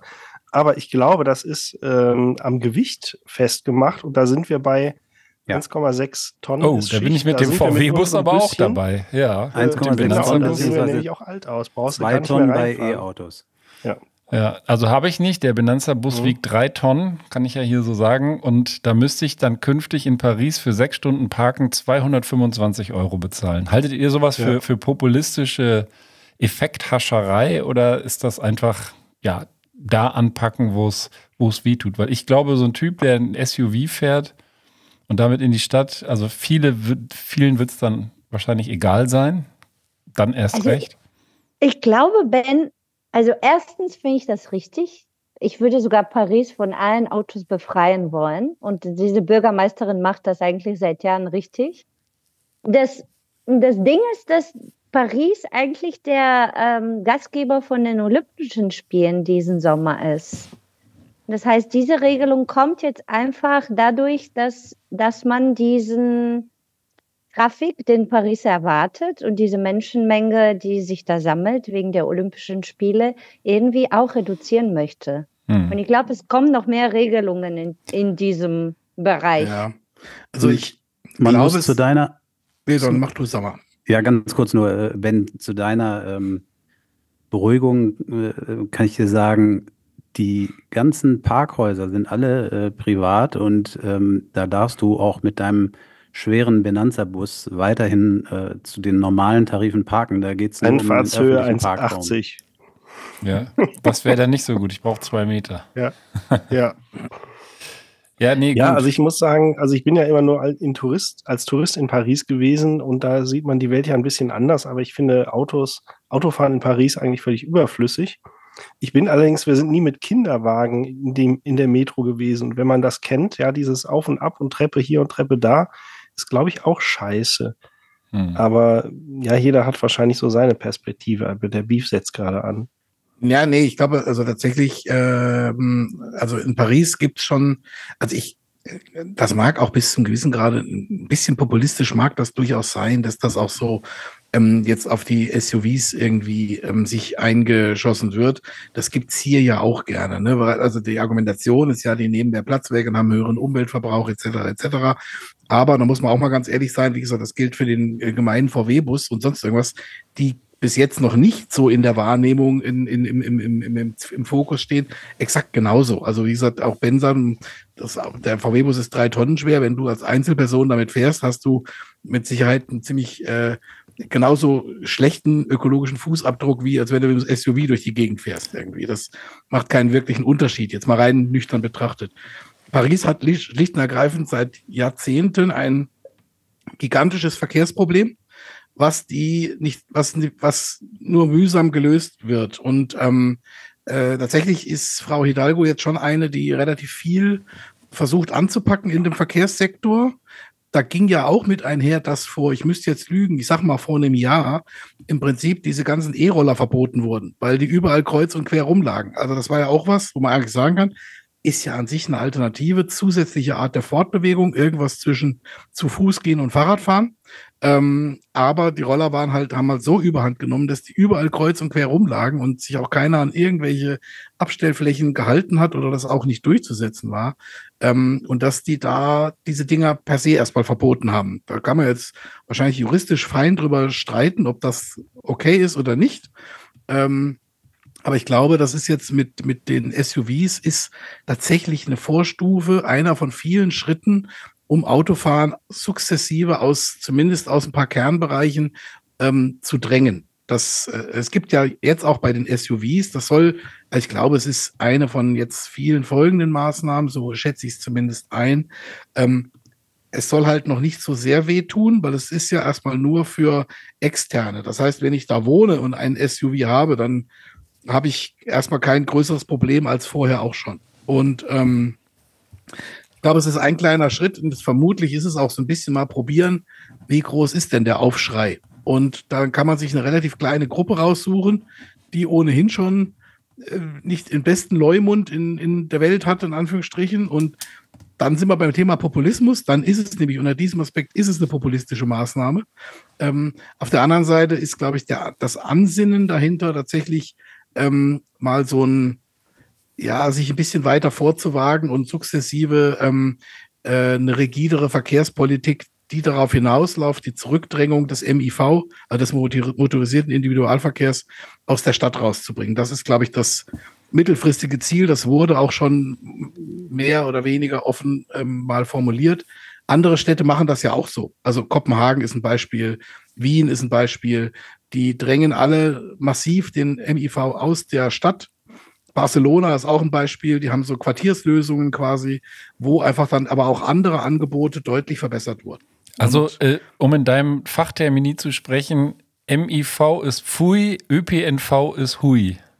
Nee, so würde ich es nicht sagen. Also ich sag mal, MIV ähm, kann ja auch ein, ein, elektrisches Moped sein, keine Ahnung. Also das ist, ähm, ähm, es geht darum, einfach den Pkw äh, zu versuchen, zumindest in den hochverdichteten Innenstadtbereichen, wo es ohnehin schon an Platz mangelt für alles. Und dann auch noch viele, viel Platz von parkenden Autos, das ist ja auch so ähm, statistisch belegt, dass die meisten Autos 23 Stunden am Start stehen und nur eine Stunde bewegt werden. Und dass das halt quasi aus den Innenstädten rausgeht, das ist, glaube ich, und die Innenstädte in sich wieder ein bisschen mehr Lebensqualität gewinnen und ähm, oder Aufenthaltsqualität in den Städten. Ich glaube, das ist hier so das, das größere Fernziel. Und das ist eine ganz kleine Maßnahme, ähnlich wie das ähm, Verdrängen oder das Verbieten der, der Elektroroller. Okay, dann korrigiere ich auf äh, vierrädrigen MIV. Ja. Ja, genau. MIV fängt ja für viele schon unter der Bettdecke an. mir, fällt noch, mir fällt noch eine kleine Anekdote ähm, zum Thema SUVs ein. Siehst du, da siehst du direkt, wer es verstanden hat mit Video. fällt eine kleine Anekdote ein. Ähm, äh, also SUV die, unter der Bettdecke. Die, die SUVs sind ja in Paris da auch äh, rausgeschmissen worden, eben weil sie so groß sind und das ist ja auch immer ein Problem mit den kleinen Parktaschen. Kennen wir hier auch. Da gab es eine Geschichte hier in Bonn mit dem Bonner Generalanzeiger.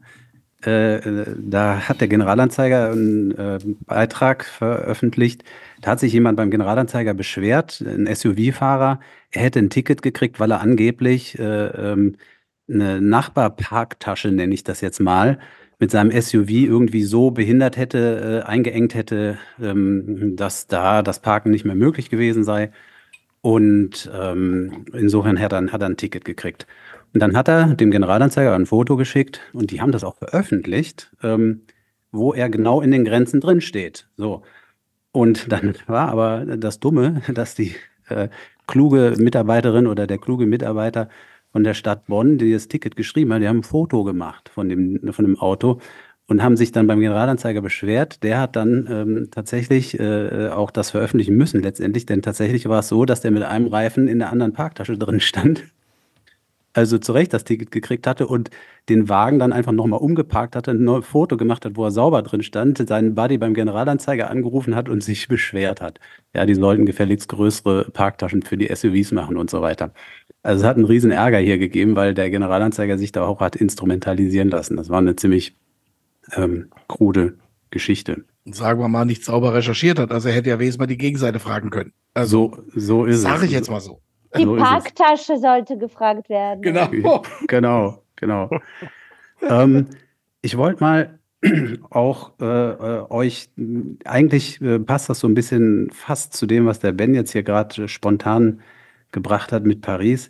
Ich wollte nämlich mal mit euch kurz ähm, andiskutieren.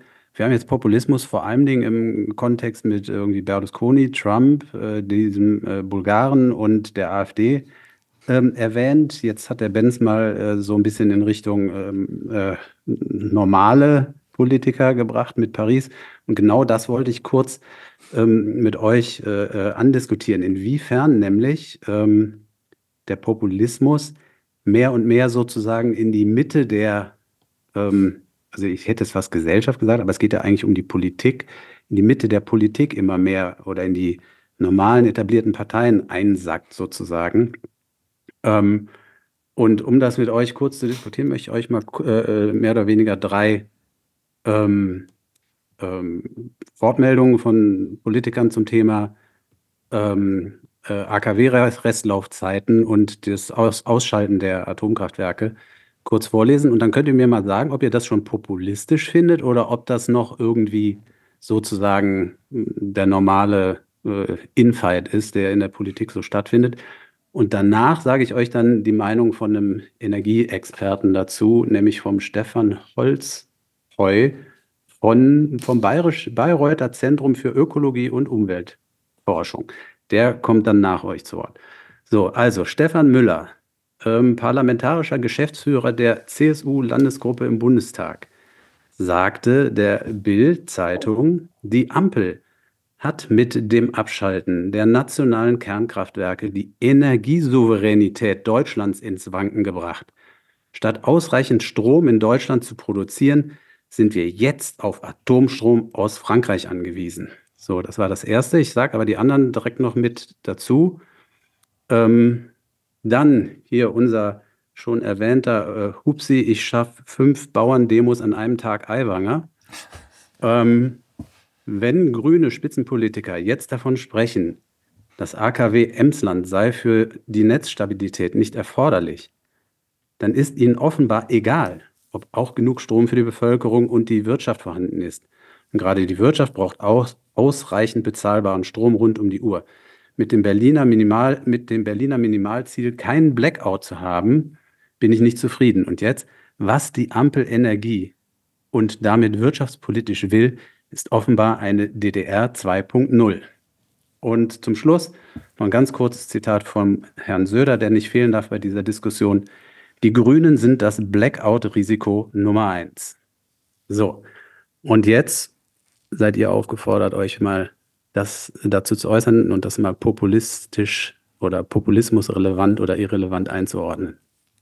Ich würde sagen, Söder ist der einzige wahre Populist. Alles andere ist viel zu kompliziert. Diese ganzen fünfzeilige Zitate. Ich glaube, Markus Söder hat ein Talent für kurze und präzise Aussagen. Okay. Sonst noch wer? Also ich würde mich dem anschließen, wenn man jetzt so das auf die, auf die äh, Eingangsdefinition zurückführt. Ähm, ich würde aber auch sagen, wenn man sich das politische Geschäft so anguckt, dann ist das immer schon so gewesen. Also äh, ich glaube auch, dass diese komplizierten Zitate auch schlicht nicht die Mehrheiten schaffen. Und du musst es irgendwo äh, runterbrechen für deine WählerInnen dass die halt auch die, die äh, Botschaft verstehen und wissen, wofür du stehst. Wobei das ja auch vielen Politikern gut gelingt, äh, immer zu verschleiern, wofür sie eigentlich stehen. Also das, das finde ich auch, äh, ist eine andere Seite der Medaille. Aber ich, ich hätte jetzt natürlich auch für, vom Aiwanger ausschließlich den Satz vorlesen können, was die Ampel Energie und damit wirtschaftspolitisch will, ist offenbar eine DDR 2.0. Ja, das war der Kernsatz, aber ja. die Grünen aber sind das Blackout-Risiko, das ist ja schon ein geiler Satz. Also ich meine ja. nicht, dass ich ihm zustimme, aber das ist, das ist äh, gekonnt. Tja. Ja. Tatsächlich sind die Zitate alle Quatsch, aber das bringt es halt so auf den Punkt, ohne eine Anschlussdiskussion zu ermöglichen. Genau. Ja, die, genau, Beef, ja ich fand noch ganz spannend, dass der Stefan Müller, das ist der erste, den du zitiert mhm. hast. Was war das? Das war irgendeine so CSU-Landesgruppe oder was war das für ein Spacko? Äh, Moment. Äh, CSU-Landesgruppe im Bundestag, ja. Aber alles Geschäftsführer. CSU? Aber das ist jetzt schon so ein, ist das ist so quasi ein Hinterbänkler Deluxe, ne? Oder ist das jetzt schon ein ernsthafter Politiker? Ich glaube, das ist schon ein ernsthafter. Also Geschäftsführer der CSU-Landesgruppe im Bundestag hört sich an. Ja, also jetzt vielleicht nicht 15, äh, erste Reihe, aber zweite. Naja, also so, nein, nein, nein, das ist erste Reihe. Geschäftsführung ist immer erste Reihe. Was ich bei dem ganz spannend fand, ist, dass der noch ähm, also den hätte ich jetzt fast schon die Aussage als rechtspopulistisch definiert, weil er hat ganz explizit gesagt, die nationale äh, Sicherheit will, soll gefährdet werden und wir sind dann abhängig von Atomstrom aus Frankreich. Also dieser, dieser, dieser, der spielt diese Nationalität aus und ähm, betont. Und gerade dieses, aus diese, Frankreich, ja. Der ja, stinkt dieses, nach Käse, dieser Atomstrom. Also ganz ehrlich, wir beziehen ja ohnehin schon Strom Wein. aus Frankreich. Ist ja nichts Neues. Also, ähm, und ähm, ja, es ist im Prinzip, es ist ja im Prinzip schon, also schon das, fast diese gelogen. Betonung auf diese ja. gelogen ist es sowieso, also es ist zumindest verbogen. Ja, wir, mal, wir, wir waren ja noch nie energiesouverän. Ja? Er behauptet, Nein. wir hätten unsere Souveränität verloren. Äh, wir haben, äh, die russische Strom, Souveränität haben wir, wir, verloren. Genau, ja. genau. Wir haben russisches Gas verstromt, ja. Äh, äh wir haben schon immer auch Kohle verstromt. Äh, ja gut, Kohle kann man sagen, haben wir selber gehabt. Ähm, aber es ist auch ganz kurz. Ja, aber die Kohle der, der letzten Jahre und Jahrzehnte wahrscheinlich mittlerweile kommt ja eher so aus weit weg. Ja, ja es gibt ja auch eine, Stro eine so europäische Strombörse. Du holst ja den Strom ohnehin ja. auch viel aus dem Ausland. Und das wollte ich gerade sagen. Das ist auch wirtschaftlich durchaus intelligent. Das ist nämlich ein dauerhafter Handel und ich kaufe ihn dort, wo er gerade günstig ist und ich kaufe ihn nicht ähm, irgendwo. Das, ähm, das, das, macht schon Sinn bis zum gewissen Grade. Da kann man natürlich bestimmte Länder und Nationen ausschließen, alles fein. Und ähm, aber ähm, das fand ich ganz spannend. Und bei dem Eiwanger, ähm, ja, das äh, finde ich jetzt schon auch ist natürlich, der verkürzt das auf einen Satz, der will da auch, also die, die CSU und CDU, bei der Merz hat es ja auch gesagt, versuchen halt die Grünen so als das Feindbild per, per se aufzubauen. Und ähm, das ist auch Aussage von Merz und wir jetzt äh, Aiwanger und Merz in einen Topf werfen, aber ähm, in dem Zusammenhang denken sie, glaube ich, in die gleiche Richtung, ähm, dass da einfach äh, in Anführungszeichen ein Feindbild konstruiert wird. Und insofern würde ich das, zumindest was dieses Wir gegen die und dass man da so einen klaren, einfachen Bösewicht hat, ähm, würde ich das schon auch als ziemlich populistisch definieren. Und Söder stimme ich euch auch zu. Also das ist, also genau genommen sind die alle mehr oder weniger populistisch. Ja, auch wenn ja. der eine vielleicht ein paar Silben mehr drin hat. Das ja. hat der, der Aiwanger hat es ja dann noch gemerkt, dass er zu kompliziert ja, redet und den zweiten Satz noch hinterhergekippt. DDR 2.0. Wobei das mhm. ist ja so sinnentleert, das ist faszinierend. Also das, das ist ja eine völlige Nullaussage. Was, was definiert denn die DDR 2.0? Was ist denn die DDR 1.0? Was Energiepolitik angeht. Also wir haben ja, Russia, es ist Russia, Russia. Ja. Ja, dann will er, also, wenn ich den Strom aus, wenn ich den Strom aus Frankreich hole, konstruiere ich eine DDR 2.0? Das, ähm, das hat er nicht in der Geschichtsunterricht hat er nicht Das ist eine steile These, muss ich gestehen. ja, ja, es ist unfassbar. Ja, ja, und, und das, das fällt halt bei solchen Zitaten häufig auf, dass sie, wenn man sie sich genau anguckt, dass sie äh, absolut sinnentleert sind. Und ähm, ich habe euch versprochen, der, äh, dieser Energieexperte Stefan Holzheu von der Uni Bayreuth, ähm, den äh, äh, kotzt das halt auch ziemlich an und er hat eigentlich ähm, hier in einem Interview mit der Süddeutschen Zeitung äh, ganz, ganz gut, äh, relativ äh, zackig auch äh, gesagt, ähm, wie schwachsinnig das ist. Es ging ja damals um diese drei Atomkraftwerke, ja, die, ja. Ne, diese Restlaufzeit, um die ging es. Und da wurde so getan, als ob sozusagen das Überleben, das energiepolitische Überleben Deutschlands an diesen drei Atomkraftwerken äh, hängt. Ähm, und äh, jetzt haben die den gefragt, wie viel ist das denn? Ne? Und dann, dann hat er gesagt, ja, das ist, das ist gar nicht die Welt, das sind, das sind äh, gerade mal zwei, vielleicht zweieinhalb äh, Gigawatt an, äh, an Leistung. Ähm, und das ist äh, tatsächlich nicht viel. Also wenn man das mal in Relation setzt, äh, äh, zweieinhalb Gigawatt, das ist ungefähr so viel wie, äh, wie, wie der Marty McFly brauchte, um einmal äh, mit dem DeLorean zurück in die Zukunft zu kommen. Der, der Ben hat, hat da auch äh, ein Audio zu. This sucker's electrical, but I need a nuclear reaction to, to generate the 1.21 gigawatts of electricity. 1.21 gigawatts! 1.21 gigawatts!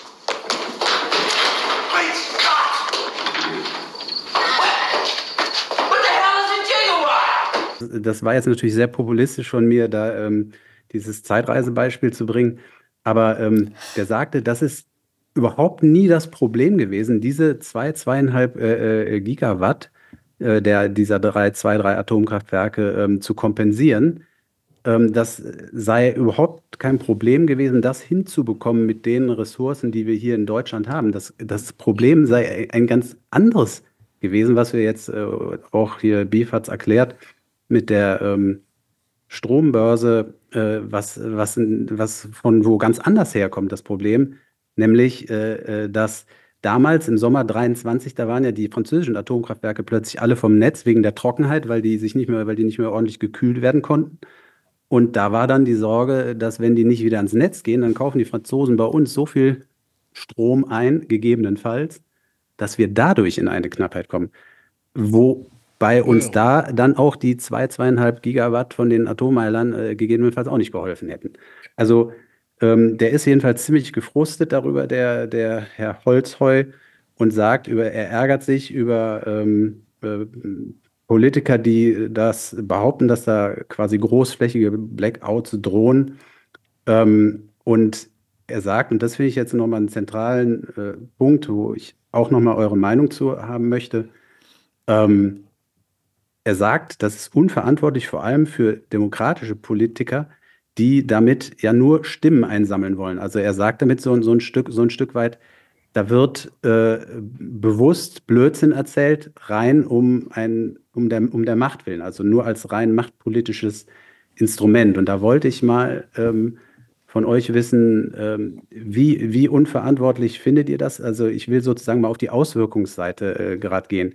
Ich, ich will habe ja etwas sagen über die Auswirkungen, aber ja. beende noch den Satz. Ja, ich beende den Satz. Äh, ich ich, ich sage nur kurz meine, meine These. Ich habe das Gefühl, dass die Stimmung im Land meilenweit entfernt ist von dem tatsächlichen Zustand dieses Landes. So, und jetzt du, Paulo. Ich äh, möchte dazu tatsächlich so ein kleines lebensnahes Praxisbeispiel aus unserer Nachbarn-WhatsApp-Gruppe bringen, ähm, die, äh, die das eigentlich äh, ganz gut verdeutlicht, was das Problem ist, nämlich, dass diese Sachen unterbewusst, vielleicht auch bewusst verfangen. Ja, wir hatten zum Beispiel jetzt, äh, kürzlich war irgendwie der Strom weg, ja, ähm, äh, es wusste keiner warum, es war aber eine ganze Weile inzwischen und äh, der erste schrieb dann, jetzt brauchen wir noch Windräder und Solar irgendwie. Dann hieß es ja hier Feuerwehrautos und dann kommt der gleiche nochmal mit, jetzt nochmal die Grünen wählen. Ja, und der ist dann zum Glück eingesagt worden von einem Nachbarn, der sich politische Sachen in der Gruppe verbittet. Äh, die Grünen waren tatsächlich nur so ganz ein klein bisschen schuld. Es war einfach in der Nähe so ein Transformator abgebrannt. Die Stadt hat den Strom abgestellt, damit er gelöscht werden konnte. Ja, aber ja, also so eine banale Technikgeschichte war auch dann nach zwei Stunden wieder okay. Aber äh, so dieser, ne, die, das ist dann auch der, der Populismus äh, des, des kleinen Mannes, ja, weil äh, erstmal gegen die Grünen wettern, ohne dass man weiß, was jetzt überhaupt Sache ist. Ja, weil Strom schlecht, grün wird halt assoziiert, weil irgendein Horst das vorgekaut hat. So.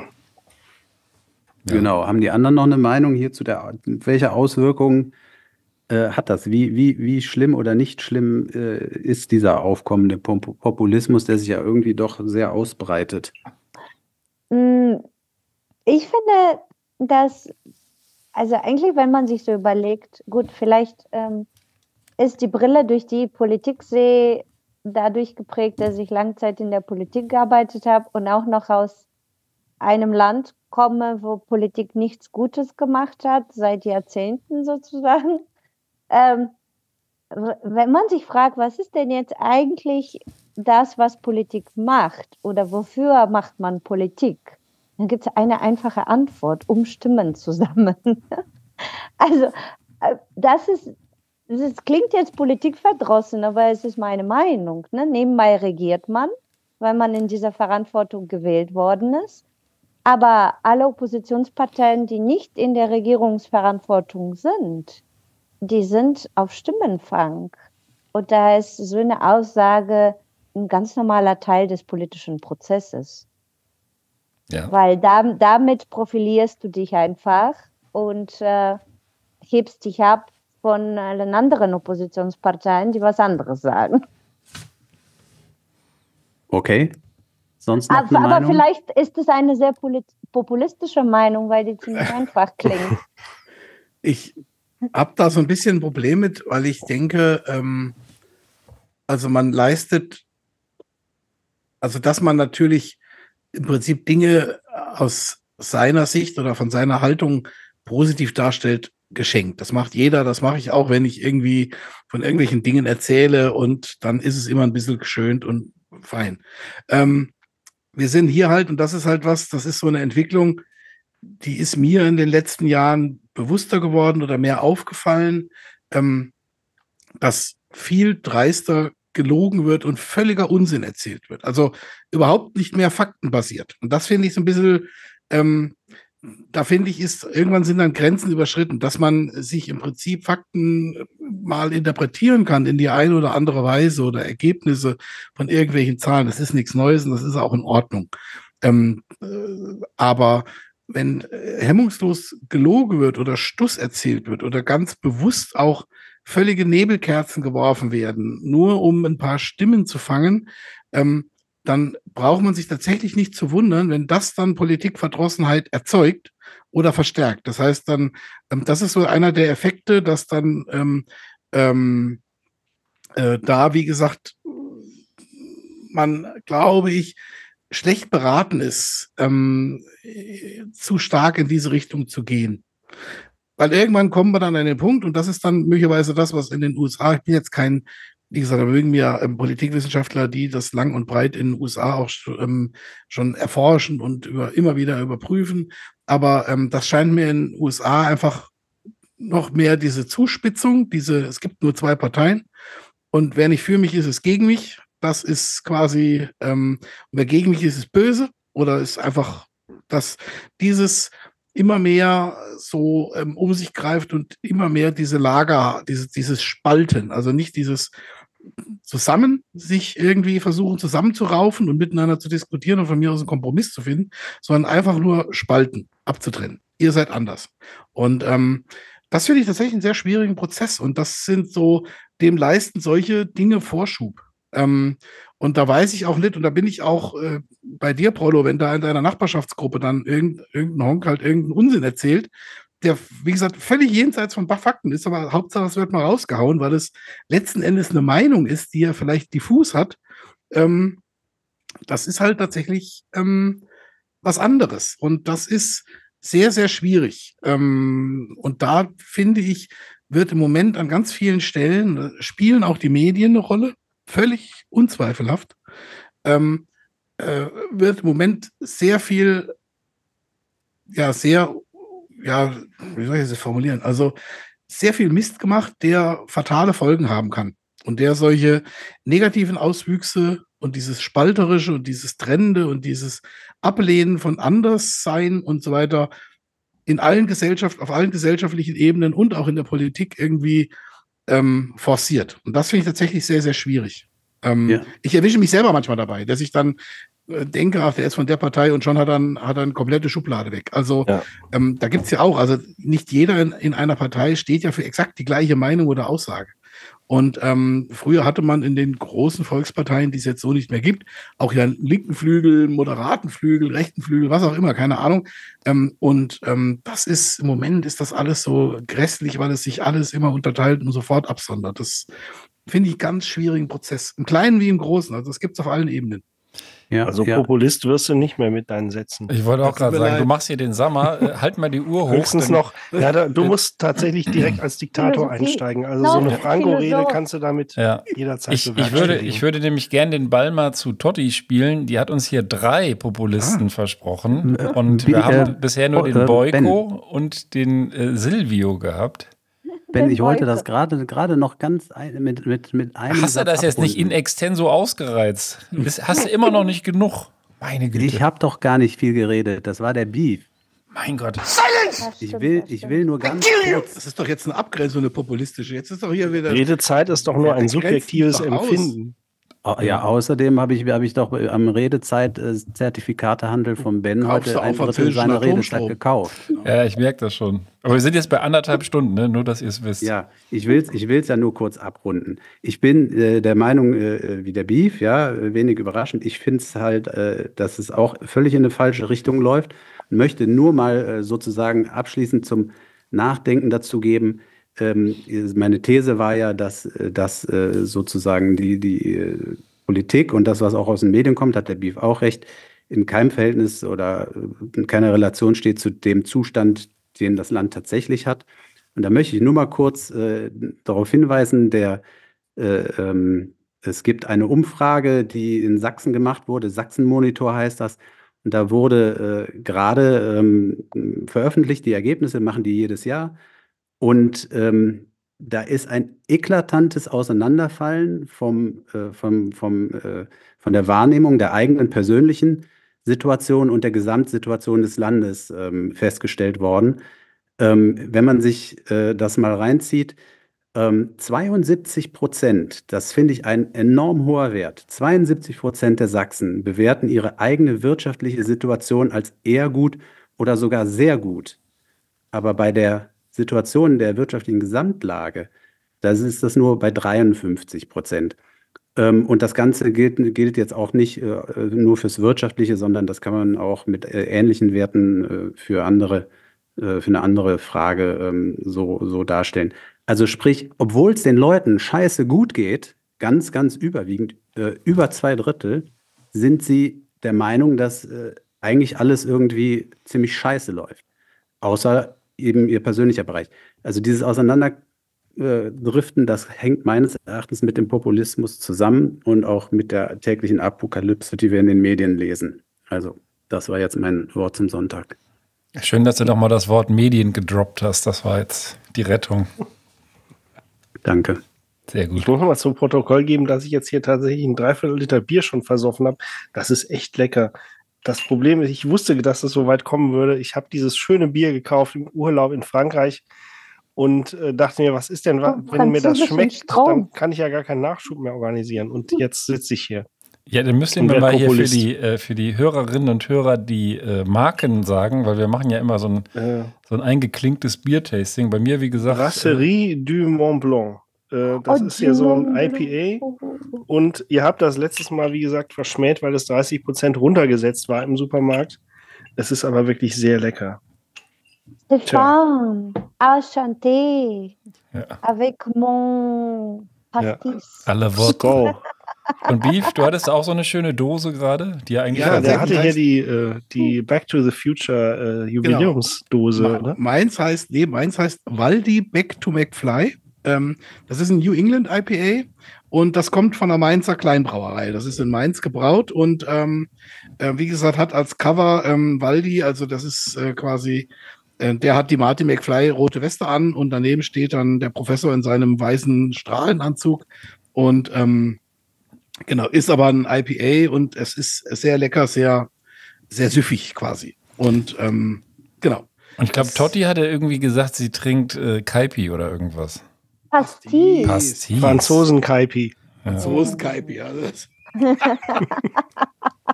Marseille Kaipi. Ah. Pastis wird ja in Marseille produziert. Sehr gut. Ist das so ein regional geschütztes Produkt? Yes. Nee, oder? Es kommt von der Marke Ricard. Genau. Okay. Ach, da gibt's, das ist äh, sozusagen das Markenprodukt. Von Marseille tatsächlich. Ja. Es gibt ja auch ein, ein Pastis-Museum in Marseille. Hm. Genau. Hm. Familie Ricard stammt da aus der Ecke. Ne? Die haben da unten auch Inseln ja. und alles. Also das ist schon eher auch, wie soll ich sagen, SUV-Fahrer. Also. Viel Trinker, würde ich sagen. Okay, ist denn Herr Monsieur Ricard jetzt der dritte Populist oder gibt es da noch jemand anderes? Nein, ich habe, ich habe jetzt ein, ein Buchcover mitgebracht, weil ich dachte, wir sprechen ja über Medien. Ja. Und wir sprechen ja nicht nur über Zeitungen oder Podcasts oder Internet, aber äh, manchmal auch über Kinderbücher. Mhm. Und ich habe ein Buch mitgebracht aus meiner Kindheit. Ähm, den Cover zeige ich euch jetzt. Und dann erzähle ich, worum es geht. Äh, Kleiner Maulwurf schlägt die Revolution wieder. Ja, so ähnlich. Du kennst mich. Die kleine Revolutionärin. So. Zwiebelchen. Okay, super. Und der Autor? Gianni Rodari. Also Name klingt wie? Italienisch. Okay, perfekt. Was seht ihr so auf dem Buchcover? Das mal Ein Obstkorb. Ein Obstkorb. Die böse rote Tomate, die guckt so ein bisschen. Hm. Die Birne guckt freundlich. Mhm. Obst und Okay. Gemüse vermenschlicht auf jeden Fall. Also Ja. immer als, als ähm, äh, Menschen dargestellt in allen Variationen mit dem äh, rot-tomatigen Kopf der, der Anzugträger, der so ein bisschen gestresst ist, glaube ich, und eher zu der hohen Blutdruckfraktion gehört. Und ähm, der Pfeife rauchende Lehrer im Hintergrund, das ist dann eine Möhre, glaube ich, mit so einer Kappe auf. Und Und da ist ein Radieschen, das ist das einzige, ist nicht im Korb. Das versucht, das Radieschen das- versucht in den genau. Korb reinzukommen. Hinter ihm ist eine Maus und da im Eine Schatten Maus. von dem Korb ist noch ein Maulwurf. der auch noch eine Sonnenbrille aufhat oder eine Blindenbrille. Das kann man jetzt aussuchen, ja. Und Radieschen ist jetzt auch zugleich Zwiebelchen? Oder wie? Ein Zwiebelchen, das ist Ein das Zwiebelchen. Zwiebelchen. Mhm. Cipollino auf Italienisch. Mhm. Okay. So. Dieses Buch ist heutzutage im DDR-Museum zu finden in Berlin. Ich besitze es aber auch. So. Mhm. Und das war Eine wohlhabende meinen- Frau. Ein, ja, sie hatte viel Geld dafür bezahlt auf eBay, ne? Ist antiquarisch, das Buch, muss man dazu sagen. Ne? Dieses Buch äh, habe ich damals in meiner Kindheit wirklich fast jeden Tag gelesen, auf Bulgarisch, ja. Und mir ist aber noch nie bewusst geworden, wie diese Geschichte eigentlich geht, ne?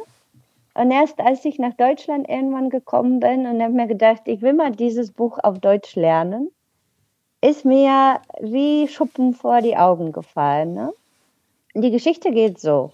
Zwiebelchen ist nämlich jemand, äh, also es ist, ihr habt recht, wir sind im Gemüseland, ja. Und äh, das spielt in einer Stadt, in der sinnlose Regeln die Bevölkerung unterdrücken. Und Zwiebelchen rebelliert gegen die Führung dieser Stadt und gegen die Ungerechtigkeiten, die von Prinzen Zitrone und der lokalen Aristokratie angetan werden.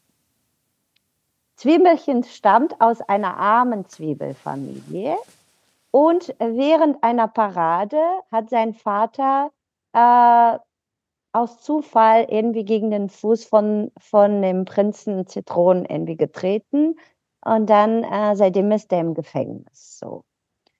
Und Zwiebelchen versucht ihn zu befreien und äh, kämpft auch noch gegen Don Tomate. Das ist ja der, der örtliche ähm, Großtumbesitzer, der im Prinzip auch noch sein Haus irgendwie ähm, ähm, wegnehmen möchte, nachdem sein Vater im Gefängnis ist. So, wie klingt das für euch? Also bis hierhin ganz normaler Vorgang im, Sozial im, im Kommunismus, würde ich sagen. Ja, das ist eine Leider ein reine bisschen klischeebelastet. kommunistische Propaganda, ne? Und das ist mir als Kind ja überhaupt nicht so vorgekommen, ne? Und äh, Hauptsache, also Tatsache ist, dass zwischen Bulgarien, kommunistisches Regime Bulgariens und kommunistisches Regime Italiens eine große Freundschaft gewesen ist und wir tatsächlich auch sehr viele Bücher und sehr viel Musik aus Italien hatten, als ich klein war. Und dieses Buch und sehr viele andere von Gianni Rodari waren so in meiner Kinderbibliothek. Ne?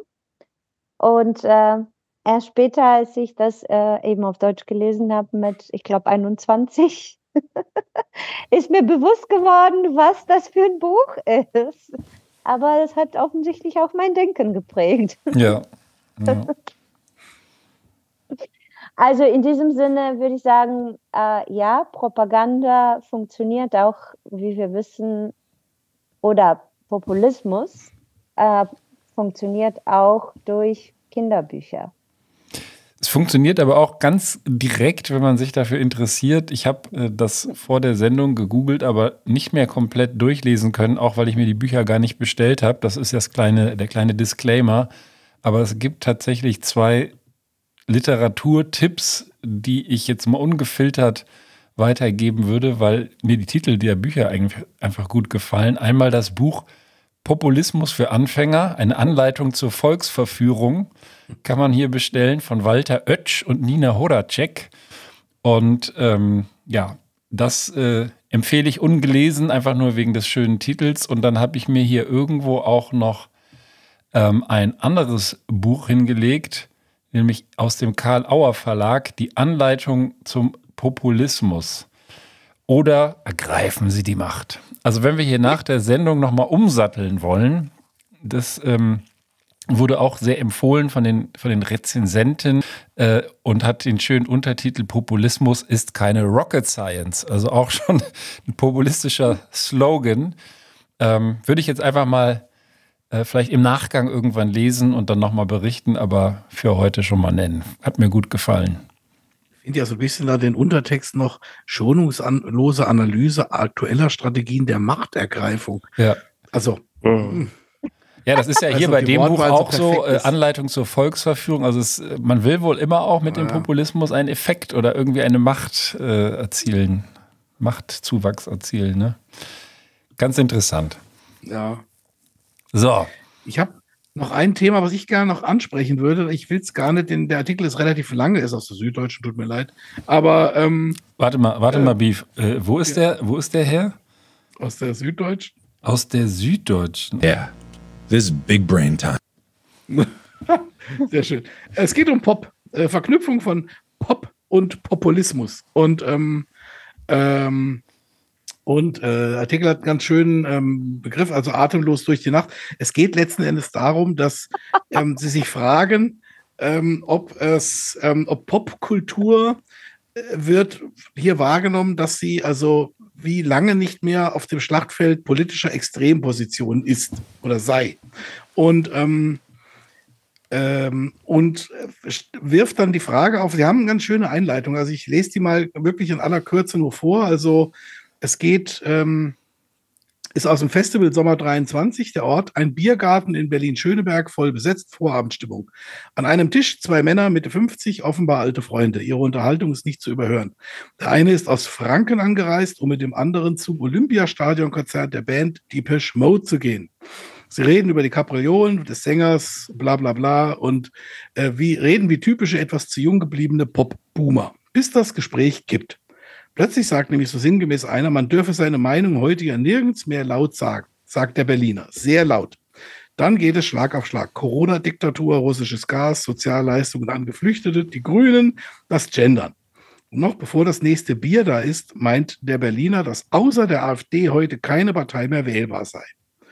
Und da fragen die sich jetzt halt, intuitiv erscheint das ja eigentlich als Widerspruch. Also eine Geisteshaltung, die sich mit diesem ganzen völkischen und diesen ganzen äh, anderen Firlefanz da rückwärts, gerannt, äh, rückwärts gewandten Idealen, rechtspopulistischer Politik, wie das hier benannt wird, ähm, äh, identifiziert und auf der anderen Seite tatsächlich ein, Sie beschreiben das hier so ein bisschen vielleicht auch übertrieben, grenzensprengendes, viel perspektivisch im Kern freiheitlich und emanzipatorisch gesinntes wie Popkultur.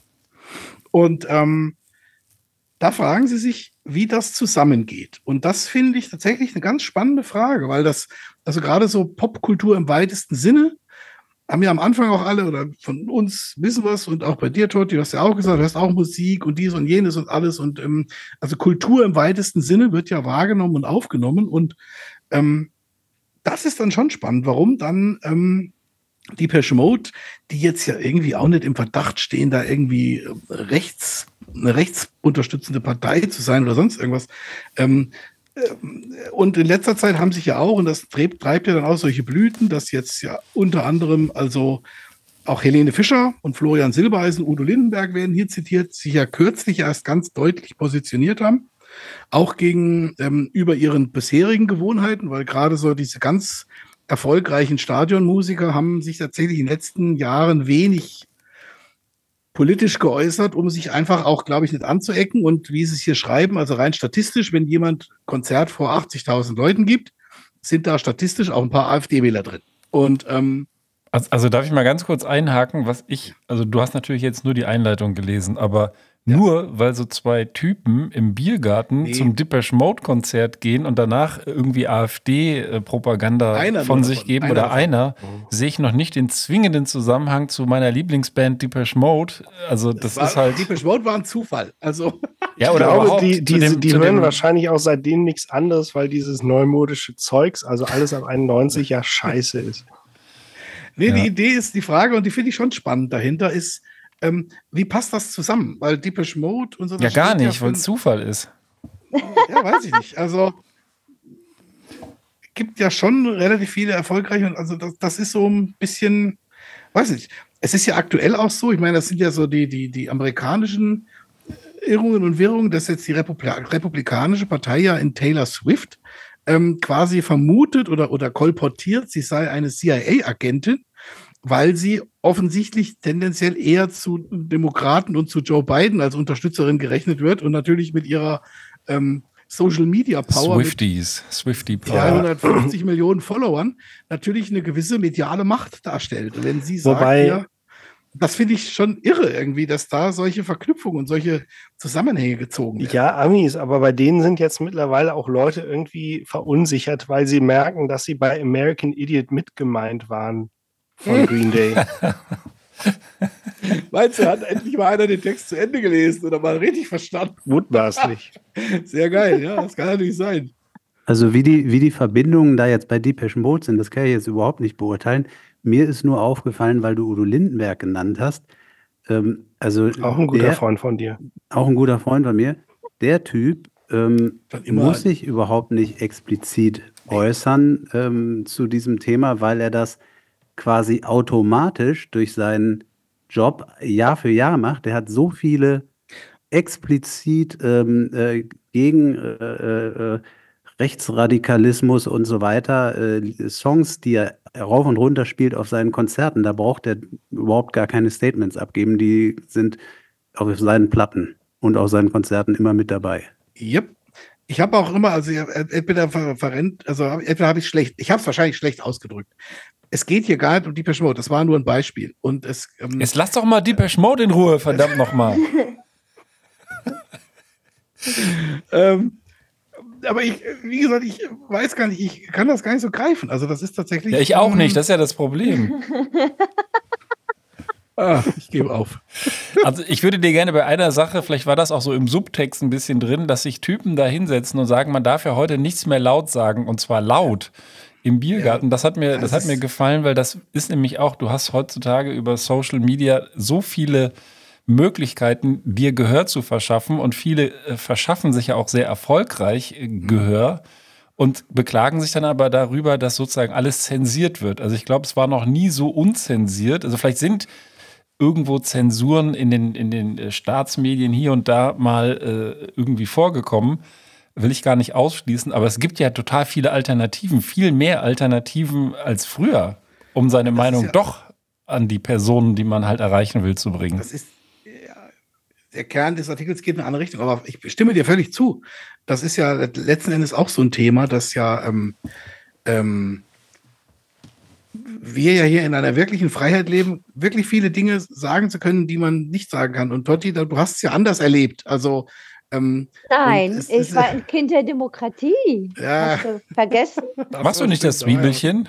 Die ist ein bisschen jünger als wir. Und ähm, das ist ja dann immer auch ähm, so ein bisschen ähm, ja, also ich glaube, es gibt ja durchaus ak auch ak aktuell Länder, wo es deutlich weniger Freiheit gibt für diejenigen und äh, da darf man wirklich nicht alles sagen, ähm, sondern ist dann direkt fällig und das ist, ähm, das ist halt hier so putzig, dass dieser Widerspruch in diesem einen Satz man sich selbst schon widerspricht. Das ist ja mhm. klar, ja, genau. das ist erstmal Grund hirnverbrannt. Aber ähm, ähm, wie gesagt, also das finde ich so ein bisschen,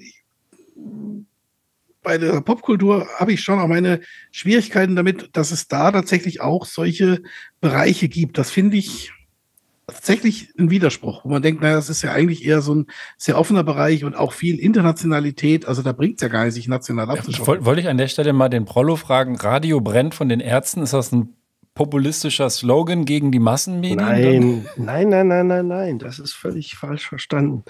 Er tritt das Radio ja ein, weil es in seinem sozialen Kontext einfach die Stimmung killt.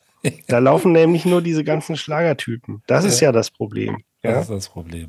Ja. Es ist schön, dass wir gegen Ende, sage ich mal, ganz Arschloch hingegen von den Ärzten. Das heißt ja nicht Arschloch, das Lied. Richtig. Das heißt auch nicht Arschloch, aber es ist mitgemeint.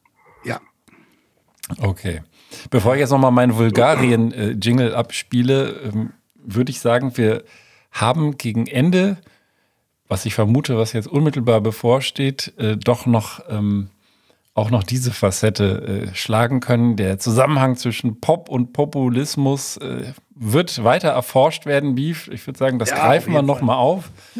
Und Man könnte sich auch umgedreht die Frage stellen, ist das Verkünden der Popkünstler von solchen äh, Informationen, dass man Demokratie fordert, ist das auch schon wieder eine Form des Populismus oder eben nicht? Tja. Ja. Also ich, ich weiß eine Sache, wie also von dir wird kein Populist. Nein, nee, das, niemals. ich auch. Tut mir auch sehr leid für die Also vor allem, vor allem wird er, glaube ich, bei, bei Künstlern, äh, gerade so bei Mainstream-Künstlern, wird der Schrei nach Liebe wahrscheinlich irgendwann äh, eine rein finanzielle Angelegenheit. Ja, und du musst halt irgendwie die Leute bei der Stange halten. Du hattest ja selber gesagt, das Stadion muss voll werden. Und wenn die AfD da mit rein muss, dann muss die halt mit rein.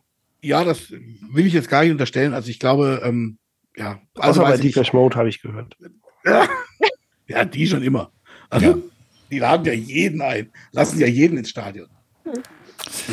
Gut, aber du jetzt halt nicht mehr. Du bist jetzt ich leider darf raus. Nicht mehr rein. Ich habe jetzt ab jetzt Hausverbot bei Deepesh Mode. Ja. Hier darfst du aber nächste Woche wiederkommen, Beef. Äh, schön, dass du hier am Ende nochmal versucht hast, Big Brain Time äh, aus ja. der Süddeutschen zum Besten zu geben. Ja, ein bisschen was Seriöses. Äh, bevor das jetzt aber ein Einschlaf-Podcast wird, möchte ich noch die Gelegenheit nutzen, unserem Gast heute, Totti, zu danken. Das war wirklich toll, dass du hier warst. Also auch du darfst jederzeit gerne wiederkommen, wann immer es dich juckt, sozusagen mal wieder irgendwo äh, populistische Phrasen von dir zu geben. Ruf uns an. Wir können da helfen. Und ähm, dieser Applaus ist für dich. Ihr hört ihn wahrscheinlich nicht. Schön, dass du da warst. Und Silent Applaus, danke Ben. Hm. Das liegt aber nur an der Technik. Hier in der Aufnahme wird der laut und deutlich zu hören sein. Und am lautesten ist der Applaus in unseren Herzen. Oh. Genau. Oder oh, damals, oh, wie Boris Becker für die Krankenpflege geklatscht hat auf seinem Balkon. Ja. Doch, also Beef äh, überrascht mich jetzt ganz am Ende. Oh, ja, siehste? Muss auch mal überraschen, ist ja auch mal schön. Toll hast du doch noch die populistische Kurve gekriegt. Also macht ja. es gut und bis in zwei Wochen wieder. Ciao. Bis dann. Tschüss.